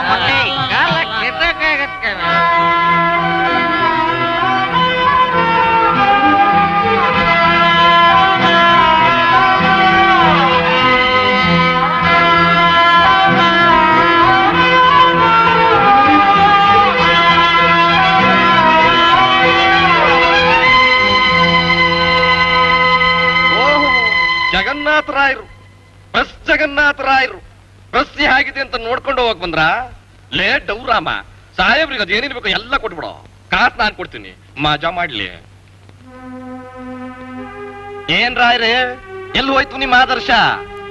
ಮಣ್ಣಿನ ಬಗ್ಗೆ ಬರೀತೀನಿ. ಬಡವ್ರನ್ನ ಉದ್ಧಾರ ಮಾಡ್ತೀನಿ ಅಂತ ಹೇಳ್ತಾ ಇದ್ರಿ? ಧ್ವನಿ ಧ್ವನಿ ಅಂತ ಕೂಕ್ಕೋತಾ ಇದ್ರಿ? ಹೇಳಿ ಇವುಗಳು ಧ್ವನಿನ. ಇಂಥವ್ರನ್ನ ಮೇಲಕ್ಕೆ ತಕ್ಕೋಗಿ ನೀವೇ ಕೆಳಗಡೆ ಬಿದ್ದೋಗ್ಬಿಡೋದ? ಇನ್ನೂ ಸ್ವಲ್ಪ ಮುಂದುವರೆದ್ರೆ ಪಾತಾಳಕ್ಕೂ ಸೇರ್ಕೊಂಡ್ಬಿಡ್ತೀರ ಆವತ್ತು ಹಲ್ಕಿ ತಾವು ಅಂತ ಮಣ್ಣಂಗಂದ್ರಿ ಅದೇ ಹಾವುಗೆ ಮತ್ತೆ ಹೊಲ್ ಬರುತ್ತೆ ಅನ್ನೋದನ್ನೇ ಮರ್ತು ಬಿಡೋದ ಮಾರಿಬಾರ್ದಾಗಿತ್ತು ನೀರ್ದ ಒಳಗೆ ಇದ್ದಾಗ ಮೀನ್ಗಳನ್ನ ಬರಿ ಕೈಲಿ ಹಿಡಿಯಕ್ಕಾಗತ್ತಾ? ಬಲೆದು ಹಾಕ್ಬೇಕು. ಈಗ ನೋಡಿ ಇದ್ರದ್ದು ಅವಸ್ಥೆ. ಆ ರೀತಿ ನಿನ್ ಜೀವನಾನು ಅವ್ಯವಸ್ಥೆ ಆಗೋಗ್ಬಿಟ್ಟಿದೆ. ಈಗ ನೀನು ಸ್ವಲ್ಪ ಕುಡಿ. ಮನೆಗೂ ಸ್ವಲ್ಪ ತಗೊಂಡೋಗು. ಅಲ್ಲೂ ಸ್ವಲ್ಪ ಕುಡಿ. ಆಮೇಲೆ ಮನಸ್ಸಿಗೆ ಸ್ವಲ್ಪ ಸಮಾಧಾನ ಆಗುತ್ತೆ.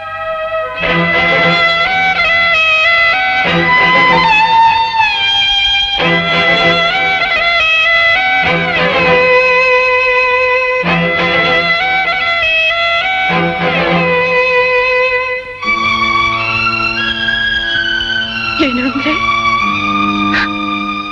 ಹೇಗಿದೆಯಾ ಜಾನಕಿ? ಚೆನ್ನಾಗಿದ್ದೀನಿ. ಕವಿತಾ ಎಲ್ಲಿ? ಎಲ್ಲೂ ಕಾಣ್ತಾನೆ ಇಲ್ವಲ್ಲ?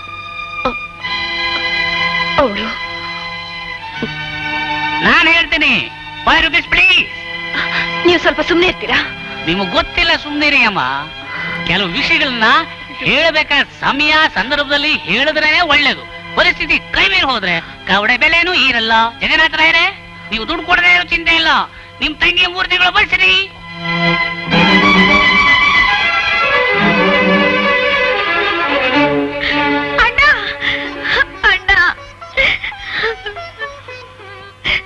ಅಮ್ಮ ಕವಿತಾ. ನಾನು ಕೇಳಿದ ಸುದ್ದಿ ಸುಳ್ಳಂತ ಹೇಳ್ಬಿಡಮ್ಮ. ನನಗೆ ಚೆನ್ನಾಗಿ ಗೊತ್ತು ನನ್ನ ತಂಗಿ ದುಡ್ಕೊಳ್ಳಲ್ಲ ಅಂತ. ಒಂದೇ ಒಂದು ಸಾರಿ ಆ ಕುಡ್ಕನ್ ಮಾತ್ ಸುಳ್ಳಂತ ಹೇಳ್ಬಿಡಮ್ಮ. ಹೇಳು, ಕವಿತಾ. ಜಾನಕಿ. ನಾ, ನಾನ್ ಕೇಳಿದ್ ನಿಜಾನಾ? ಯಾಕೆ ಮಾತಾಡ್ತಾ ಇಲ್ಲ? ಯಾಕೆ ನೀವಿಬ್ರು ಮಾತಾಡ್ತಾ ಇಲ್ಲ? ಮಾತಾಡಿ. ಅಣ್ಣ ನನ್ ಕ್ಷಮಿಸ್ಬಿಡೋಣ. ನಿನಗ್ ಕೆಟ್ಟ ಹೆಸರು ತರಬೇಕು ಅಂತ ನನ್ ಮನ್ಸಲ್ಲಿರ್ಲಿಲ್ಲ. ಇದ್ರಿಂದ ನಿನಗೆ ಎಷ್ಟು ನೋವಾಗಿದೆ ಅಂತ ನನಗ್ ಗೊತ್ತು. ನಾನೇನ್ ಮಾಡ್ತಿದ್ದೀನಿ ಅಂತ ನನಗೆ ಗೊತ್ತಿಲ್ಲದೆ ಒಂದು ಕ್ಷಣ ದುಡುಕ್ಬಿಟ್ಟೆ. ನಿನ್ನ ಪರಿಸ್ಥಿತಿ ನನ್ಗೆ ಅರ್ಥ ಆಗತ್ತಮ್ಮ. ಯವ್ವನಾನೇ ಹಾಗೆ. ಎಡವಕ್ ಮುಂಚೆ ಮನಸ್ಸನ್ನ ಸ್ವಲ್ಪ ಹತೋಟಿಯಲ್ಲಿ ಇಟ್ಕೊಂಡಿದ್ರೆ ಚೆನ್ನಾಗಿರ್ತಿತ್ತು. ಅವ್ರು ನನ್ನೇ ಮದುವೆ ಆಗ್ತೀನಿ ಅಂತ ಭಾಷೆ ಇಟ್ಟು ಪ್ರಮಾಣ ಮಾಡಿದಾರಣ್ಣ. ಸರಿ. ಈ ವಿಷಯ ನಾಲ್ಕು ಜನರಿಗೆ ಗೊತ್ತಾಗಕ್ ಮುಂಚೆನೆ ನಾನೇ ಹೋಗಿ ಅವನ್ನ ಮಾತಾಡಿಸ್ತೀನಿ. ಹುಡುಗ ಯಾರಮ್ಮ? ಅವ್ರು ತುಂಬಾ ಶ್ರೀಮಂತ್ರಣ ಕಾರ್ ಇದೆ ಬಂಗ್ಲೆ ಇದೆ. ಅವ್ರ ಕಾರು ಬಂಗ್ಲೆ ನಮಗ್ಯಾಕಮ್ಮ ಹುಡುಗನ ಹೆಸರೇನು? ಅವನ್ ಗುಣ ಹೇಗೆ? ಅವ್ರು ತುಂಬಾ ಒಳ್ಳೆಯವ್ರಣ್ಣ. ಅವ್ರ ಹೆಸರು ಹೆಸರು. ಯಾರಮ್ಮ? ಧೈರ್ಯವಾಗಿ ಹೇಳು. ಅರುಣ್ ಅಂತ. ಮಾಜಿ ಮಂತ್ರಿ ದಯಾನಂದ್ ಅವ್ರ ಮಗ. ಯಾಕಣ್ಣ, ಸುಮ್ನೆ ಬಿಡಿ ಮಾತಾಡೋಣ ಮಾತಾಡೋಣ.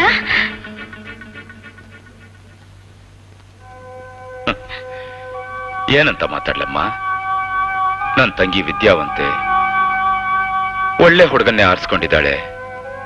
ಅವನ ಹತ್ರ ಕಾರ್ ಇದೆ, ಬಂಗ್ಲೆ ಇದೆ, ಆಸ್ತಿ ಇದೆ, ಅಂತಸ್ತಿದೆ ಅಂತ ಈ ಊರೆಲ್ಲ ಕುಣದಾಡಿ ಹೇಳ್ಕೊಂಡ್ ಬರ್ಲೇನಮ್ಮ?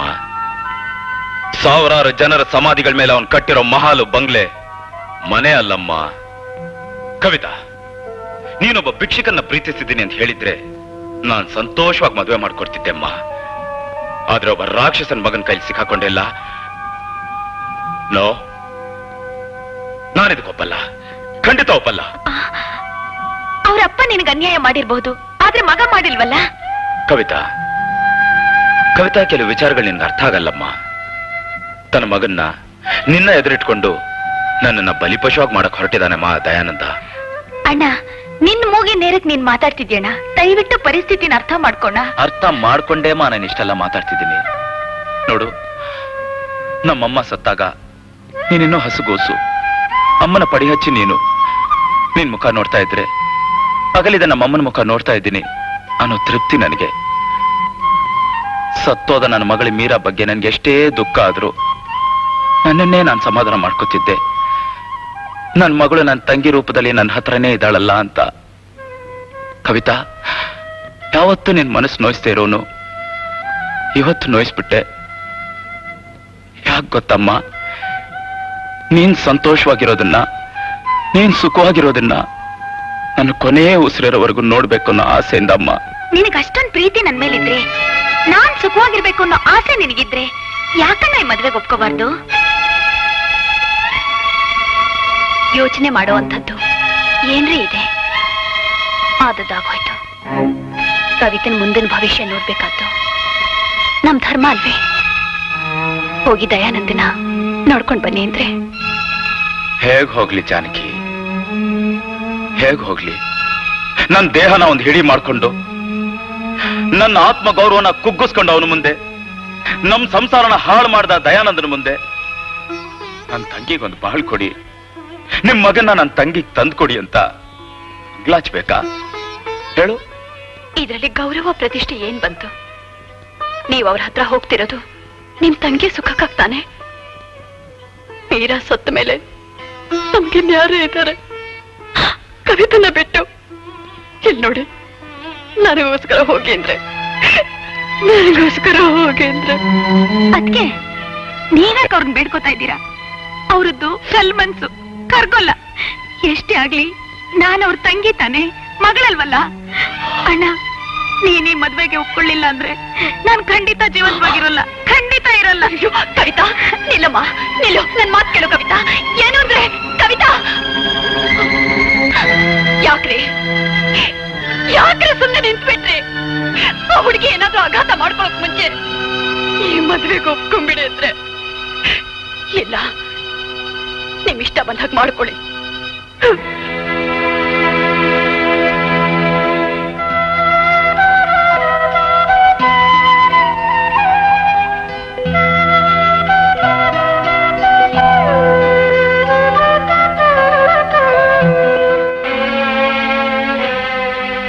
ನಮಸ್ಕಾರ. ಸ್ವಲ್ಪ ನಿಮ್ಮ ಹತ್ರ ಓ ಆ ವಾಚ್ಮನ್ ಏನ್ ಮಾಡ್ತಿದ್ದಾನೋ ಏನು. ಬೀದಿಲಿ ಹೋಗೋರ್ನೆಲ್ಲ ಕರ್ಕೊಂಡು ಮನೆ ಬಾಗ್ಲಿಗೆ ಬಿಡ್ತಾ ಇದ್ದಾನೆ. ಸ್ಟೂಪಿಡ್ ಫ್ಯಾಲೋ ಓ ಪ್ಲಸ್ ಹಲೋ? ಯಾರು? Veterinary doctor Rudresha? ನಮಸ್ಕಾರ. ನೋಡಿ ನಮ್ ನಾಯಿಗೆ ಹುಷಾರಿಲ್ಲ. ಹಾ ಕಾರ್ ಕಳಿಸ್ತಾ ಇದ್ದೀನಿ. ಆದಷ್ಟು ಬೇಗ ಬಂದ್ಬಿಡಿ. ಹಾ ಸಾವಿರ ಗಟ್ಲೆ ಖರ್ಚಾದ್ರೂ ಪರವಾಗಿಲ್ಲ. ನಮ್ ನಾಯಿ ವಾಸಿ ಆಗಬೇಕು. ಓಕೆ. Okay okay. ಅಣ್ಣ ಯಾವನು ತುಂಬಾ ಹೊತ್ತು ನಿಂತಿದ್ದಾನೆ? ಯಾರು ಬೇಕು? ನನ್ ತಂಗಿ ಮದುವೆ ವಿಷಯ ಮಾತಾಡೋಣ ಅಂತ ಬಂದೆ. ಓಹೋ ತಂಗಿ ಮದ್ವೆಯಂತೆ. ಚಂದ ವಸೂಲಿಗೆ ಬಂದಿದ್ದಾನೆ. ಸ್ವಲ್ಪ ಚಿಲ್ರೆನಾ? ಕೊಟ್ ಕಳ್ಸು. ಭಿಕ್ಷೆ ಬೇಡಕ್ ನಾನು ಇಲ್ಲಿಗೆ ಬಂದಿಲ್ಲ. ನಿಮ್ ಮಗ ಅರುಣ್. ನನ್ ತಂಗಿ ಒಬ್ಬರನ್ನೊಬ್ರು ಪ್ರೀತಿಸ್ತಿದ್ದಾರೆ. ಮದುವೆ ಮಾಡ್ಕೋಬೇಕಂತಿದ್ದಾರೆ. ತಾವು ದೊಡ್ಡವರು. ತಮ್ಮ ಒಪ್ಪಿಗೆ ಬೇಕು. ಓ ಜಗನ್ನಾಥ್. ಪತ್ರಕರ್ತ ಜಗನ್ನಾಥ್. ನಮ್ಮಂಥವರು ನಡೆಸುವ ಕೀಳು ರಾಜಕೀಯವನ್ನು ಬಯಲಿಗೆಳೆಯುವ ಪತ್ರಕರ್ತ ಜಗನ್ನಾಥ್ ಮುಗ್ಧ ಜನತೆಯನ್ನು ತನ್ನ ಬರವಣಿಗೆಯಿಂದ ಬಡಿದೆಬ್ಬಿಸಿ ಜನಜಾಗೃತಿಯನ್ನುಂಟು ಮಾಡುವ ಪತ್ರಕರ್ತ ಜಗನ್ನಾಥ್. ನಮ್ಮಂಥ ಕೊಳಕು ರಾಜಕಾರಣಿಗಳ ಬಗ್ಗೆ ತನ್ನ ಪತ್ರಿಕೆಯ ಮುಖಪುಟದಲ್ಲಿ ಮುದ್ರಿಸುವ ಪತ್ರಕರ್ತ ಜಗನ್ನಾಥ್. ಸತ್ಯ, ನ್ಯಾಯ, ನೀತಿ, ಧರ್ಮಕ್ಕೆ ಹೋರಾಡುವ ಪತ್ರಕರ್ತ ಜಗನ್ನಾಥ್. ಅದೇ ಕೊಳಕು ರಾಜಕಾರಣಿ ದಯಾನಂದನ ಬಳಿ ದಯಾ ಭಿಕ್ಷೆಗೆ. ಈ ನನ್ನ ನಾಲ್ಕು ಗ್ಲಾಸುಗಳಲ್ಲಿ ತುಂಬಿದೆ ಆ ನಿನ್ನ ಸತ್ಯ ನ್ಯಾಯ ನೀತಿ ಧರ್ಮ. ಇವುಗಳನ್ನು ಕುಡಿದು ಜೀರ್ಣಿಸಿಕೊಂಡು ಅದರ ಬಲದ ಮೇಲೆ ಕಟ್ಟಿಸಿದ ಈ ನನ್ನ ಮಹಲಿನ ನೆರಳು ಈಗ ನಿನಗೆ ಬೇಕಾ? ಆ? ಈಗ ನೀವೇನೇ ಅಂದ್ರು ಮಾತಾಡೋ ಸ್ಥಿತಿಯಲ್ಲಿ ನಾನಿಲ್ಲ. ಇಂಥ ಚುಚ್ಚು ಮಾತುಗಳನ್ನ ಕೇಳ್ತೀನಂತ ಗೊತ್ತಿದ್ರು ಮನಸ್ಸನ್ನ ಗಟ್ಟಿ ಮಾಡ್ಕೊಂಡು ಇಲ್ಲಿಗೆ ಬಂದಿದ್ದೀನಿ. ನೋಡಿ ನಮ್ಮಿಬ್ರು ದ್ವೇಷಕ್ಕೆ ನನ್ನ ತಂಗಿ ಬಾಳ್ ಹಾಳಾಗೋದು ಬೇಡ. ಅವಳ ಹೊಟ್ಟೆಯಲ್ಲಿ ನಿಮ್ ವಂಶದ ಕುಡಿ ಬೆಳೀತಾ ಇದೆ. ಕುಡಿ? ವಂಶದ ಕುಡಿ. ಮಿಸ್ಟರ್ ಜಗನ್ನಾಥ್ ನಮ್ಮ ವಂಶದಲ್ಲಿ ಯಾರು ಮದುವೆಗೆ ಮುಂಚೆ ಬಸಿರಾಗಿ ನಮ್ಮ ಮನೆಯ ಹೊಸಲನ್ನು ದಾಟಿಲ್ಲ. ಮಿಸ್ಟರ್ ದಯಾನಂದ್ ಈಗ ನಿಮ್ಮಿಂದ ನನಗೆ ಬೇಕಾಗಿರೋದು ಒಂದೇ ಒಂದು ಮಾತು. ನನ್ನ ತಂಗಿನ ನಿಮ್ ಸೊಸೆಯಾಗಿ ಸ್ವೀಕರಿಸ್ತಿರೋ ಇಲ್ವೋ? ಸ್ವೀಕರಿಸ್ತೀನಿ. ಆದ್ರೆ ಒಂದು ಷರತ್ತು. ವರದಕ್ಷಿಣೆ ತಾನೆ? ಅದನ್ನ ಕೊಡೋ ಯೋಗ್ಯತೆ ನಿನಗಿಲ್ಲ. ಇನ್ನೇನ್ ಬೇಕು? ನಿನ್ನ ಬರೆಯೋ ಶಕ್ತಿನ ನನಗೋಸ್ಕರ ಮುಡುಪಾಗಿಡ್ಬೇಕು. ಅದು ನನ್ನಿಂದ ಸಾಧ್ಯವಿಲ್ಲ. ಹಾಗಾದ್ರೆ ಈ ಸಂಬಂಧನೂ ಸಾಧ್ಯವಿಲ್ಲ. ಸಾಧ್ಯವಿದೆ. ಅದನ್ನ ನಾನ್ ಮಾಡಿ ತೋರಿಸ್ತೀನಿ. ಮೈಂಡ್ ಇಟ್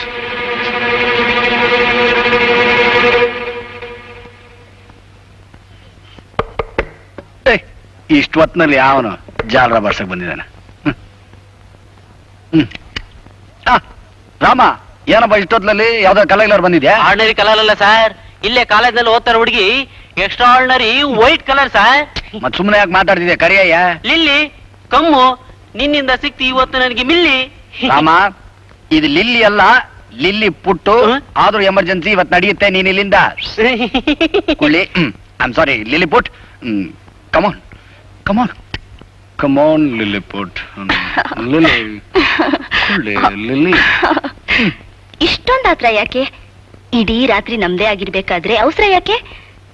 ನಂಗೊಂದ್ ಸ್ವಲ್ಪ ಟೈಮ್ ಕೊಟ್ರೆ ಸ್ನಾನ ಮಾಡ್ಕೊಂಡು ಫ್ರೆಶ್ ಆಗಿ ಬರ್ತೀನಿ. ಹ್ಮ್.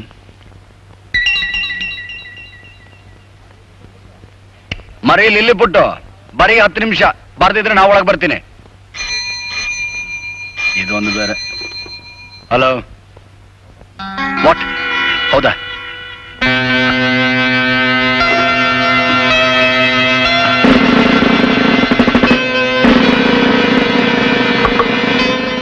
You are mister Arun yes ನಿಮ್ ರೂಮ್ನ ಸ್ವಲ್ಪ ಚೆಕ್ ಮಾಡಬೇಕು. ಚೆಕ್ ಮಾಡುವಂಥದ್ದು ಏನಿದೆ? ನನ್ನನ್ನು ಬಿಟ್ರೆ ಈ ರೂಮ್ನಲ್ಲಿ ಬೇರೆ ಯಾರೂ ಇಲ್ಲ. ಗೋ ಹೆಡ್ ಸುತ್ತಮುತ್ತ ಯಾರು ಇಲ್ಲ ನಾನು ನೀನೇ ಇಲ್ಲೇ ಇಲ್ಲ. ಆ ರೂಮ್ನಲ್ಲಿ ಯಾರು? ಅದು ಮರಿ. ಐ ಆಮ್ ಸಾರಿ ನನ್ನ ಹೆಂಡತಿ. ಶೋ ಡೆಫಿನೆಟ್ಲಿ ನನ್ನ ಕೈಯಾರೆ ತಾಳಿ ಕಟ್ಟಿದ ಹೆಂಡತಿ. ಐ ಸಿ ಮೇಡಮ್ ಸ್ವಲ್ಪ ಹೊರಗಡೆ ಬರ್ತೀರಾ?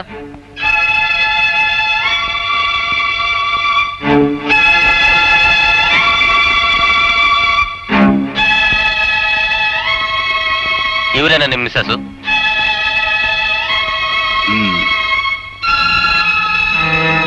ತಾಳಿಯನ್ನು ಕಟ್ಟಿಲ್ಲ. ನಾಳೆ ಕಟ್ತಾನೆ. ಇನ್ಸ್ಪೆಕ್ಟರ್ ಸರ್ ನಾಳೆ ಮದುವೆಗೆ ನೀವು ತಪ್ಪದೆ ಮರಿದೆ ಬರಬೇಕು. ಬಂದು ಇವರಿಬ್ಬರನ್ನು ಆಶೀರ್ವದಿಸಬೇಕು. ತಗೊಳ್ಳಿ ಇನ್ವಿಟೇಷನ್ ಖಂಡಿತವಾಗಿ ಬರ್ತೀನಿ. Mister Arun sorry for the disturbance ನಡೀರಿ. ಮಿಸ್ಟರ್ ಅರುಣ್ ನೀನ್ ಯಾರು? ನಿನ್ ಗುಣ ಏನು ಅಂತ ನನಗೆ ಚೆನ್ನಾಗಿ ಗೊತ್ತು. ಹುಣಸೆ ಬೀಜನ ಮೈಸೂರಲ್ಲಾಗ್ಲಿ ಮಂಗಳೂರಲ್ಲಾಗ್ಲಿ ಅಥವಾ ಕಾರವಾರ ನೆಲದಲ್ಲಿ ನೆಟ್ರು ಅದು ಹುಣಸೆ ಕಾಯ್ಕೊಡ್ತೆ ಹೊರತು ಮಾವಿನ ಹಣ್ಣು ಕೊಡಲ್ವಲ್ಲ? ನೆಲ ಯಾವುದೇ ಇರಬಹುದು ಆದ್ರೆ ಗಿಡದ ಗುಣ ಬದಲಾಗಲ್ವಲ್ಲ? ಅದಕ್ಕೆ ಪೊಲೀಸ್ನವ್ರನ್ನ ಸಾಕ್ಷ್ಯಾಗಿಟ್ಕೊಂಡು ಈ ಪ್ಲಾನ್ ಮಾಡಿದ್ದು. ಲುಕ್ ಇದರಲ್ಲಿ ಮುಹೂರ್ತ ಜಾಗ ಪ್ರಿಂಟ್ ಮಾಡಿಸಿದ್ದೀನಿ. ನಾಳೆ ನಿನ್ನ ಅಲ್ಲಿ ನೋಡ್ತೀನಿ. ಓಕೆ ನೂರಾರು ಕೊಲೆ ಮಾಡಿಸಿ ಲೆಕ್ಕವಿಲ್ಲದಷ್ಟು ಸಂಸಾರವನ್ನು ಹಾಳು ಮಾಡಿದ ನನ್ನಂಥವನಿಗೆ ನನ್ನ ಮಗನ ಮದುವೆ ಆಮಂತ್ರಣ ಪತ್ರಿಕೆನ ನನಗೆ ಕಳಿಸುವಷ್ಟು ಧೈರ್ಯ ಬಂತ ಅವನಿಗೆ. ತಾಳ್ಮೆ ತಾಳ್ಮೆ. ಇನ್ವಿಟೇಷನ್ ಮಾತ್ರ ಬಂದಿದೆ.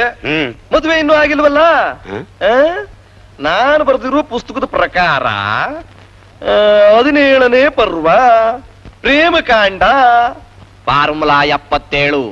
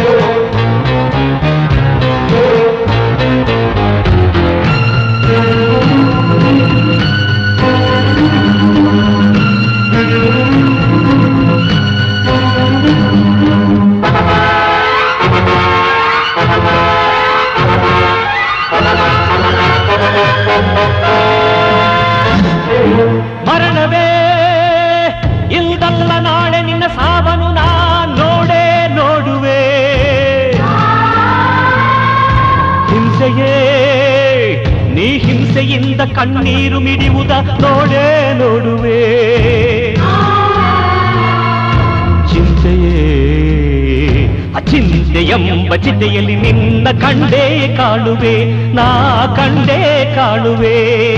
ಮರಣವೇ, ಇಲ್ದಲ್ಲ ನಾಳೆ ನಿನ್ನ ಸಾವನು ನಾ ನೋಡೇ ನೋಡುವೆ. ಹಿಂಸೆಯೇ, ನೀ ಹಿಂಸೆಯಿಂದ ಕಣ್ಣೀರು ಮಿಡಿಯುವುದ ನೋಡೇ ನೋಡುವೆ.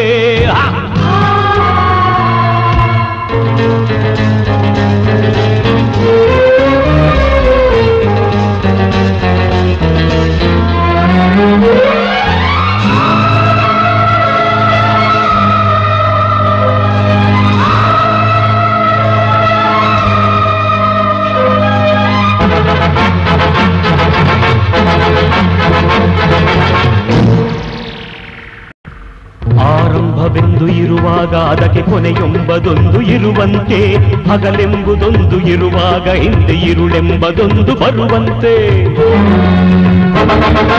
ಆರಂಭವೆಂದು ಇರುವಾಗ ಅದಕ್ಕೆ ಕೊನೆಯೆಂಬುದೊಂದು ಇರುವಂತೆ, ಹಗಲೆಂಬುದೊಂದು ಇರುವಾಗ ಹಿಂದೆ ಇರುಳೆಂಬದೊಂದು ಬರುವಂತೆ, ಬಿರುಗಾಳಿ ಬೀಸಿ ಭಯ ಮುಗಿದ ಮೇಲೆ ಹಿತವಾಗಿ ಗಾಳಿ ಸುಳಿವಂತೆ, ಮುಳ್ಳಿಲ್ದ ಮುಳ್ಳು ತೆಗೆದಾಗಲೇನೆ ಬದುಕಲ್ಲಿ ಮತ್ತೆ ನಿಶ್ಚಿಂತೆ, ಬದುಕಲ್ಲಿ ಮತ್ತೆ ನಿಶ್ಚಿಂತೆ, ಬದುಕಲ್ಲಿ ಮತ್ತೆ ನಿಶ್ಚಿಂತೆ.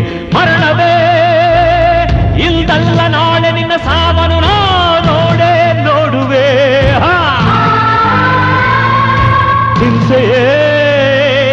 ಹಿಂಸೆಯಿಂದ ಕಣ್ಣೀರು ಮಿಡಿಬುದ ನೋಡೇ ನೋಡುವೆ.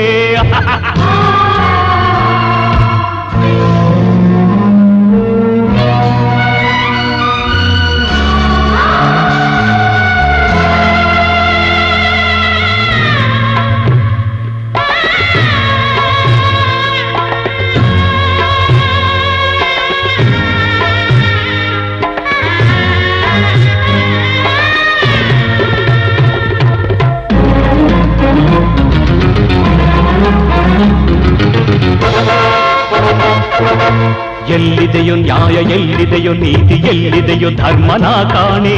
ಪಾಪಿಷ್ಟರನ್ನು ಬಿಟ್ಟೋಡಿ ಹೋಯ್ತು ಸುಡುಗಾಡ ಕಡಕೆ ನನ್ನಾಳೆ ಎಲ್ಲಿದೆಯೋ ನ್ಯಾಯ, ಎಲ್ಲಿದೆಯೋ ನೀತಿ ಎಲ್ಲಿದೆಯೋ ಧರ್ಮನ ಕಾಣೆ. ಪಾಪಿಷ್ಟರನ್ನು ಬಿಟ್ಟೋಡಿ ಹೋಯ್ತು ಸುಡುಗಾಡ ಕಡಗೆ ನನ್ನಾಣೆ. ಸ್ವಾತಂತ್ರ್ಯ ತಂದ ಆ ಗಾಂಧಿಯನ್ನೇ ಕೊಂದಂಥ ಜನರು ಇರುವಾಗ, ಸಿಡಿಲಾಗಿ ನಿಲ್ಲು ಸುಡು ಶಾಂತಿ ಮಂತ್ರ ಹೊಸಬಾಳ ಬುದಯ ಆವಾಗ. ಹೊಸಬಾಳ ಬುದಯ ಆವಾಗ, ಹೊಸಬಾಳ ಬುದಯ ಆವಾಗ. ಮರಣವೇ, ಇಂತಲ್ಲ ನಾಳೆ ನಿನ್ನ ಸಾವನು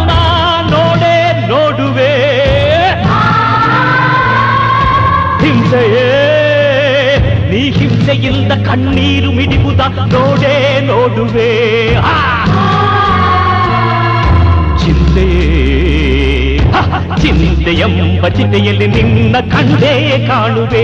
ನಾ ಕಂಡೇ ಕಾಣುವೆ. ನನ್ ಮಗ ಸತ್ತ. ನನ್ ಜೊತೆಯವರು ಏರ್ ತಿಂದು ಆಸ್ಪತ್ರೆಲಿದ್ದಾರೆ ನನ್ನ ಆಸ್ತಿ ಪಾಸ್ತಿ ಲೂಟಿ ಆಗ್ತಾ ಇದೆ. ಏನ್ ಮಾಡ್ತಾ ಇದ್ದೀರಿ ನಿಮ್ ಡಿಪಾರ್ಟ್ಮೆಂಟ್? ನೀವೇ ನಿದ್ರೆ ಮಾಡ್ತಾ ಇದ್ದೀರಾ? ಇಲ್ಲ ಎಚ್ಚರವಾಗಿದ್ದೀರಾ? ನಾವು ಅವ್ರನ್ನ ಹಿಡೀಲಿಕ್ಕೆ ಪ್ರಯತ್ನ ಮಾಡ್ತಾ ಇದ್ದೀವಿ. ನಾವು ನಿಮ್ಗೆ ಪ್ರೊಟೆಕ್ಷನ್ ಕೊಡ್ತೀವಿ ಸರ್ ಯಾರಿಗ್ರಿ ಬೇಕು ನಿಮ್ protection I want peace of mind ನಾನು ನೆಮ್ಮದಿಯಾಗಿ ನಿದ್ರೆ ಮಾಡಬೇಕು. ಮೊದಲು ಆ ಜಗನ್ನಾಥನ ಹಿಡಿಯೋದಕ್ಕೆ ಪ್ರಯತ್ನ ಮಾಡಿ. ಅವ್ರನ್ನ ಹಿಡಿಯೋದಕ್ಕೆ ಒಬ್ಬ ಸ್ಪೆಷಲ್ ಆಫೀಸರ್ನ ಅಪಾಯಿಂಟ್ ಮಾಡಿದ್ದಾರೆ ಸರ್ ನೋಡಿ ಇನ್ಸ್ಪೆಕ್ಟರ್ ಒಂದು ಪಕ್ಷ ನಿಮ್ಮ ಕೈಲಿ ಆ ಜಗನ್ನಾಥನ್ ಹಿಡಿಯೋಕಾಗದೆ ಇದ್ರು ಅವನು ನನ್ನಿಂದ ಲಪ್ಟಾಯಿಸಿರೋ ನನ್ನ ಬಹುಮುಖ್ಯ ದಾಖಲೆ ಪತ್ರಗಳು ತಕ್ಷಣ ನನ್ನ ಕೈಗೆ ಸಿಗೋ ಹಾಗೆ ಏರ್ಪಾಡು ಮಾಡಿ. ಇನ್ಸ್ಪೆಕ್ಟರ್ ಕೇಸಿಗೆ ಸಂಬಂಧಪಟ್ಟ ಎಲ್ಲ ವಿವರಗಳು ಈ ಫೈಲ್ನಲ್ಲಿದೆ ಓದಿ ಮುಂದೇನ್ ಮಾಡಬೇಕು ಅಂತ ಬೇಗ ತೀರ್ಮಾನ ಮಾಡಿ. ಒಳಗ್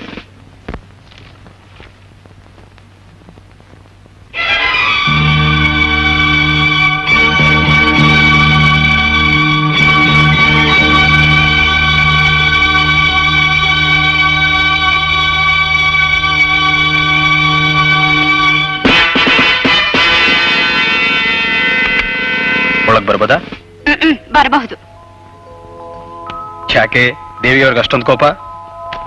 ಪೊಲೀಸರಿಗೆ ಕಲ್ಲು ಹೃದಯ ಅಂತ ಅವರು ಇವರು ಹೇಳೋದನ್ನ ಕೇಳಿದ್ದೆ. ಅದು ನಿಜ ಅಂತ ಗೊತ್ತಾಯ್ತು. ಅಂದ್ರೆ ನಂದು ಕಠಿಣ ಹೃದಯ ಅಂತ ಹೇಳ್ತಿದ್ಯಾ? ಅಲ್ವಾ ಮತ್ತೆ? ಏನ್ ಮಾಡೋದು ಪಲ್ಲವಿ? ಒಂದ್ ದೊಡ್ಡ ಜವಾಬ್ದಾರಿನೇ ನನ್ನ ತಲೆ ಮೇಲೆ ಹೊರಿಸ್ಬಿಟ್ಟಿದ್ದಾರೆ ನಮ್ಮ ಡಿಪಾರ್ಟ್ಮೆಂಟ್ನವರು. ಏನಪ್ಪ ಅಂತದ್ದು? ಒಂದು ಕಾಲದಲ್ಲಿ ತನ್ನ ಬರಹಗಳಿಂದ ಖ್ಯಾತನಾಗಿ ಸಮಾಜದಲ್ಲಿ ಕ್ರಾಂತಿಯನ್ನೇ ಉಂಟು ಮಾಡಿ ಈಗ ಕೊಲೆಗಾರನಾಗಿ ಪೊಲೀಸರಿಗೆ ಬೇಕಾಗಿರೋ ಮುಖ್ಯ ಕೈದಿ ಜರ್ನಲಿಸ್ಟ್ ಜಗನ್ನಾಥ್ನ ಜೀವ ಸಹಿತ? ಇಲ್ಲ ಜೀವರಹಿತ ಹಿಡಿಯುವಂಥ ಜವಾಬ್ದಾರಿ. ಅಂದ್ರೆ ನಮ್ಮ ಅಣ್ಣನ್ ಹಿಡಿಬೇಕು ಅಂತಲೇ ಈ ಕೆಲ್ಸಕ್ಕೆ ಸೇರಿದ್ರ? ಬೇಡ ನೀವ್ ಈ ಕೆಲಸ ಮಾಡೋದು ನನಗಿಷ್ಟ ಇಲ್ಲ. ಮೊದ್ಲು ಈ ಕೆಲ್ಸಕ್ಕೆ ರಾಜೀನಾಮೆ ಕೊಟ್ಬಿಡಿ. ಪಲ್ಲವಿ ನೀನ್ ಹೇಳ್ದಾಗ ನಾನೇನೋ ಕೆಲಸ ಬಿಟ್ಬಿಡ್ಬೋದು. ಆದ್ರೆ ನಮ್ ಡಿಪಾರ್ಟ್ಮೆಂಟ್ನವರು ಜಗನ್ನಾಥ್ನ ಬಿಟ್ಬಿಡ್ತಾರೆ ಅಂತ ತಿಳ್ಕೊಂಡಿದ್ಯಾ? ನನ್ ಜಾಗಕ್ಕೆ ಇನ್ನೊಬ್ಬ ಬಂದೇ ಬರ್ತಾನೆ. ಈ ಕೆಲಸ ಮಾಡಿ ಮಾಡ್ತಾನೆ. ಏನೋ ಅಪ್ಪ ನೀವ್ ಹಿಡ್ದಿರೋ ದಾರಿ ಸರಿ ಇಲ್ಲ ಅಂತ ನನ್ಗನ್ನಿಸ್ತಾ ಇದೆ. ನಾನ್ ಸರಿಯಾದ ದಾರಿನೇ ಹಿಡಿದಿದ್ದೀನಿ ಪಲ್ಲವಿ. ನನ್ನ ಜೀವನದ ಗತಿಯನ್ನೇ ಬದಲಾಯಿಸಿದವರು ನಿಮ್ಮಣ್ಣ. ಅವರ ಆದರ್ಶದಂತೆನೇ ನಡೆಯೋದು ನನ್ನ ಕರ್ತವ್ಯ. ಜಗನ್ನಾಥ್ ಅವರ ನಿಷ್ಠೆ ಪ್ರಾಮಾಣಿಕತೆನೇ ನನಗೆ ದಾರಿದೀಪ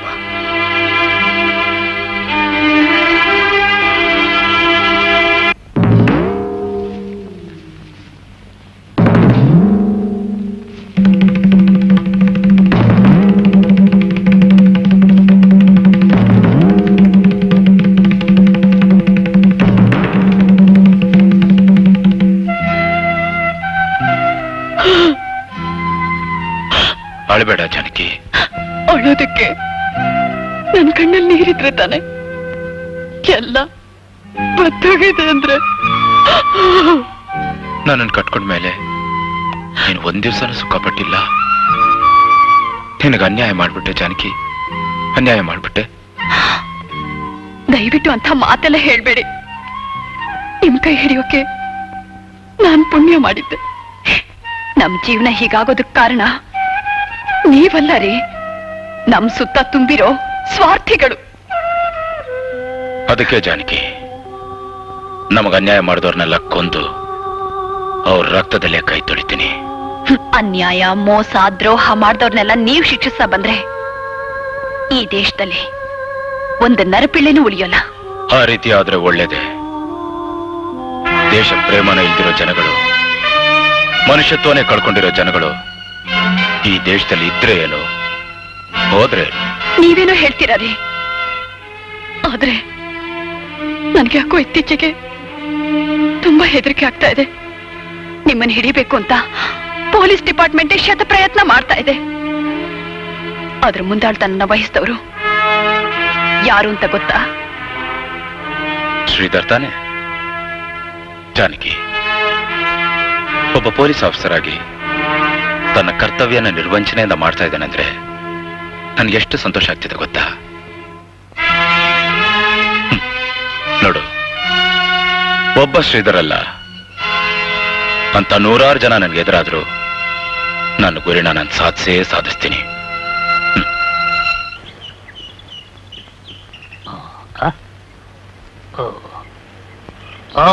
ನಮಸ್ಕಾರ. ಏನ್ ಬೇಕಾಗಿದ್ದು ಏನ್ ವಿಷಯ? ನನಗೊಂದು ಇನ್ಫಾರ್ಮೇಶನ್ ಬೇಕಾಗಿತ್ತು. ನಂಗ್ ಗೊತ್ತಿದ್ರೆ ಇನ್ಫಾರ್ಮೇಶನ್ ಯಾವುದೂ ಇಲ್ಲ. ಕೇಳು. ಖಂಡಿತ ಹೇಳ್ತೀಯಾ? ಓಯ್ ನಾನ್ ಕುಡಿತೀನಿ ಸಿಗರೇಟ್ ಸೇರ್ತೀನಿ ಎಲ್ಲ ಕೆಟ್ಟಗಳಿವೆ ಬಟ್ ಸುಳ್ಳು ಮಾತ್ರ ಇಲ್ಲ. ಹಾಗಾದ್ರೆ ಆ ಪೇಪರ್ ಜಗನ್ನಾಥ ಈಗೆಲ್ಲಿರ್ತಾನೆ? ಓ ವಿರಾಟ್ ರಾಯಣ ಅಲ್ಲಲ್ಲ. ಜಗನ್ನಾಥ ರಾಯಣ ಹೇಳ್ತೀನಿ. ಐ ವಾಂಟ್ ಮೈ ಫೀಸ್ ತಗೋ. I don't want bloody note bundle I want only five rupees ಹಾ.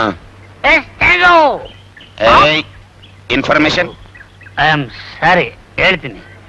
ಇಲ್ಲಿಂದ ಹತ್ತು ಕಿಲೋಮೀಟರ್ ದೂರದಲ್ಲಿರೋ ಚಂಪಕಾರಣ್ಯದಲ್ಲಿ ಆ ಜಗನ್ನಾಥರಾಯ ಬಚ್ಚಿಟ್ಕೊಂಡಿದ್ದಾನೆ ಹೋಗು ನೋಡಿ. ಥ್ಯಾಂಕ್ ಯು ಥ್ಯಾಂಕ್ ಯು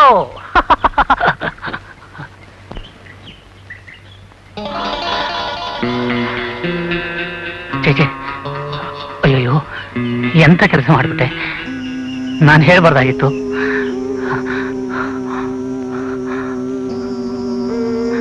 ಅಮ್ಮ ಸ್ವಲ್ಪ ನಿಂತ್ಕೊಳ್ಳಿ. ಏನಾಯ್ತು? ಏನ್ ವಿಷಯ? ಅಮ್ಮ ನಾನು ತಪ್ಪು ಮಾಡ್ಬಿಟ್ನಮ್ಮ. ನನ್ನ ಕ್ಷಮಿಸ್ಬಿಡಿ. ದಯವಿಟ್ಟು ನನ್ನ ಕ್ಷಮಿಸ್ಬಿಡಿ ಅಮ್ಮ. ಏನ್ ವಿಷಯ ಅಂತ ಹೇಳಿ ರಾಯ್ರೆ. ಆ ಜಗನ್ನಾಥರಯ್ಯ ಎಲ್ಲಿದ್ದಾನೆ ಅಂತ ಕುಡುಗಮಲ್ನಲ್ಲಿ ಆ ನೀಚ ದಯಾನಂದನ ಮುಂದೆ ಬಾಯ್ ಬಿಟ್ಬಿಟ್ನಮ್ಮ. ನನ್ನ ಕ್ಷಮಿಸ್ಬಿಡಿ ಅಮ್ಮ. ಎಂತ ಕೆಲಸ ಮಾಡ್ಬಿಟ್ರಿ?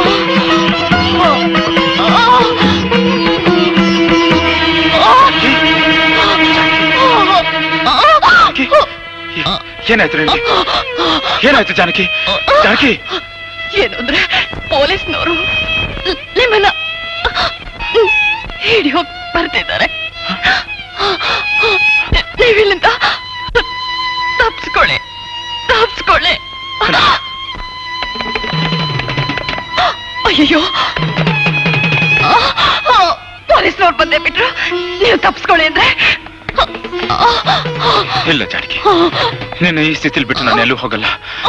ಇಲ್ಲ ಜಾನಕಿ. ನೋಡಿ ನಿಮ್ ಗುರಿ ಸಾಧಿಸೋವರೆಗೂ ಯಾವುದೇ ಕಾರಣಕ್ಕೂ ನೀವು ಪೊಲೀಸ್ನವ್ರಿಗೆ ಶರಣಾಗಬಾರ್ದು. ಇಲ್ಲ ನಾನು ಎಲ್ಲೂ ಹೋಗಲ್ಲ ಜಾನಕಿ. ಇಲ್ಲ ಜಾನಕಿ. ನನ್ನ ನಾಳೆ ನನ್ನ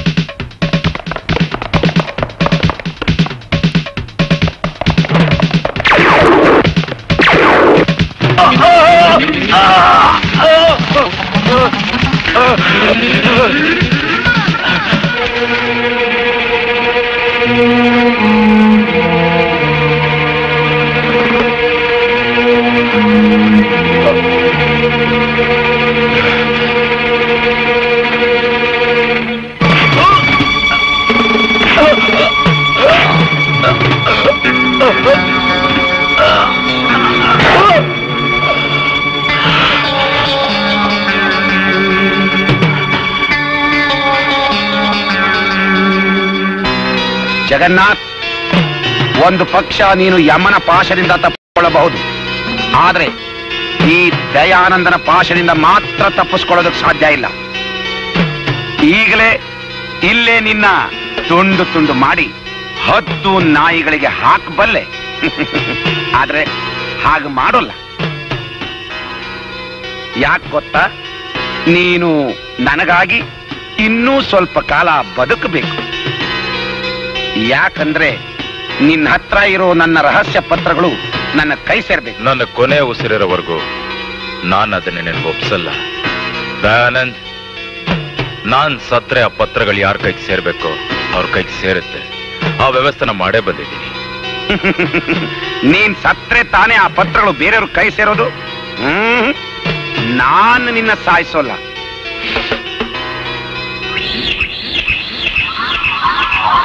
ಹ್ಮ್,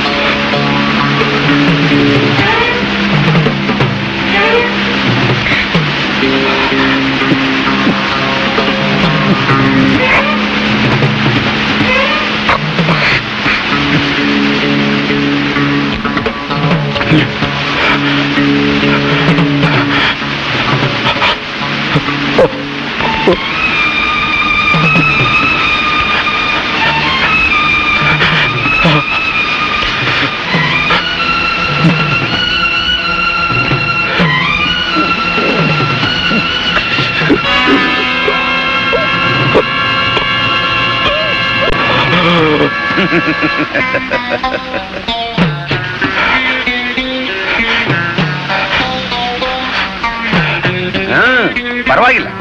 ಇನ್ನೂ ನಿನ್ನ ಮೈಯಲ್ಲಿ ಕೊಬ್ಬಿದೆ. ಇನ್ನು ಸ್ವಲ್ಪ ಹೊತ್ತಿನಲ್ಲಿ ಅದು ಕರಗುತ್ತೆ. ಆಮೇಲೆ ನೀನೇ ಬಾಯ್ ಬಿಡ್ತೀಯ.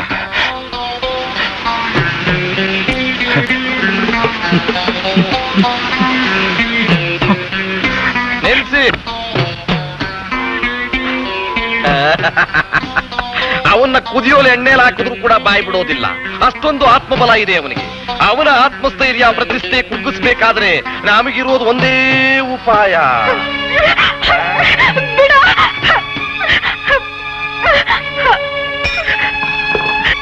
ಜಗನ್ನಾಥ ರಾಯರು ಅವ್ರ ಕಸ್ಬಸ್ತೇ ಗೌರವ ಕೊಡೋದು ಸ್ತ್ರೀಗೆ. ಯಾವ ಸ್ತ್ರೀನೇ ಆಗ್ಲಿ ಅವ್ರ ಎದುರಿಗೆ ಅಗೌರವ ಪಡೋದು ಅವ್ರಿಗೆ ಆಗಲ್ಲ ಅಲ್ವಾ ರಾಯರೇ? ಈಗ ನೋಡೋಣ. ಇವ್ರ ಆತ್ಮಬಲ ಎಷ್ಟು ಗಟ್ಟಿಯಾಗಿದೆ ಅಮ್ಮ, ಮಗು, ಒಂದು idea formula one ninety nine ಪ್ರಕಾರ ನಿನ್ನ ಮಾನ ಮುಚ್ಕೊಂಡಿರೋ ಬಟ್ಟೆಗಳನ್ನ ನೀನೇ ಒಂದೊಂದಾಗಿ ಕಳಚಿಬಿಡು. ಇಲ್ದೆ ಹೋದ್ರೆ ನಮ್ಮವರೇ. ನನ್ನ ಮಾತು ನೀನ್ ಕೇಳೋದಿಲ್ಲ? ಓ, ಸರಿ. ಆ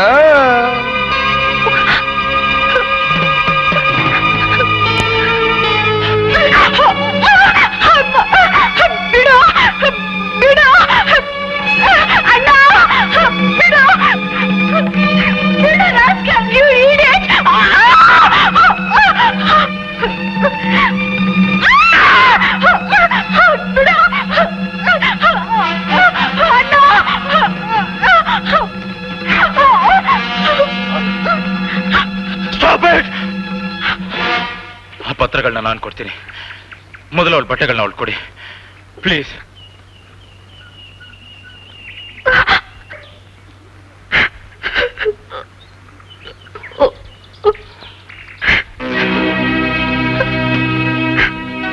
ಇಲ್ಲಿಂದ ಈ ಕಡೆ ಒಂದು ಕಿಲೋಮೀಟರ್ ದೂರದಲ್ಲಿ ಒಂದು ಒಂಟಿ ಆಲದ ಮರ ಇದೆ.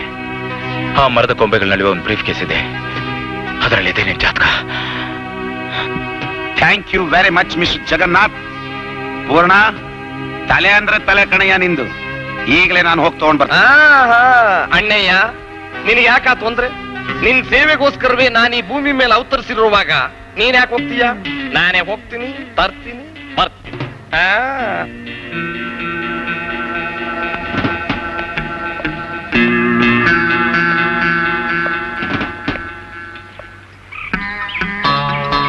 ಆ ಏಯ್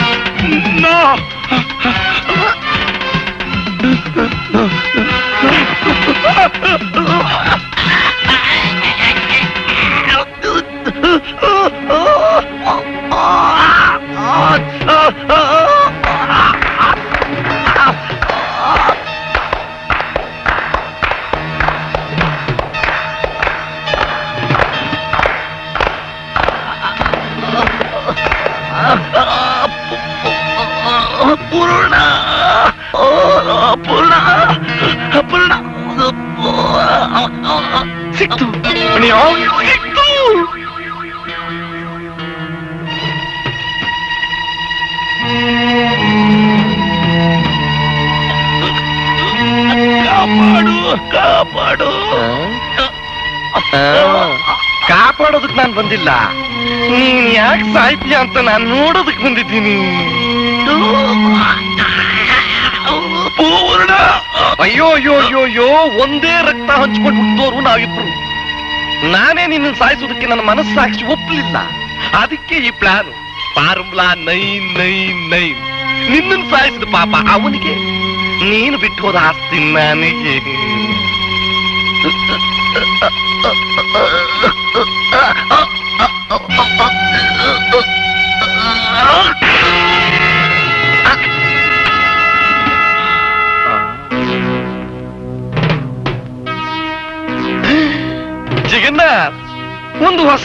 ಐಡಿಯಾ ನಾನೇ ನಿನ್ ಸಾಯಿಸ್ಬಿಡ್ಬಹುದು ಕೊಡ ಇಲ್ಲಿ.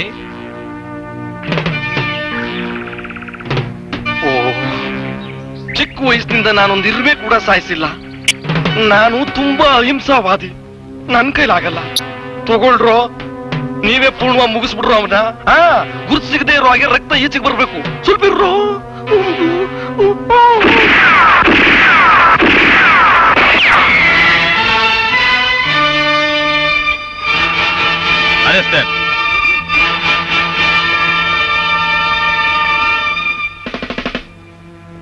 Mr. Jagannath, surrender yourself.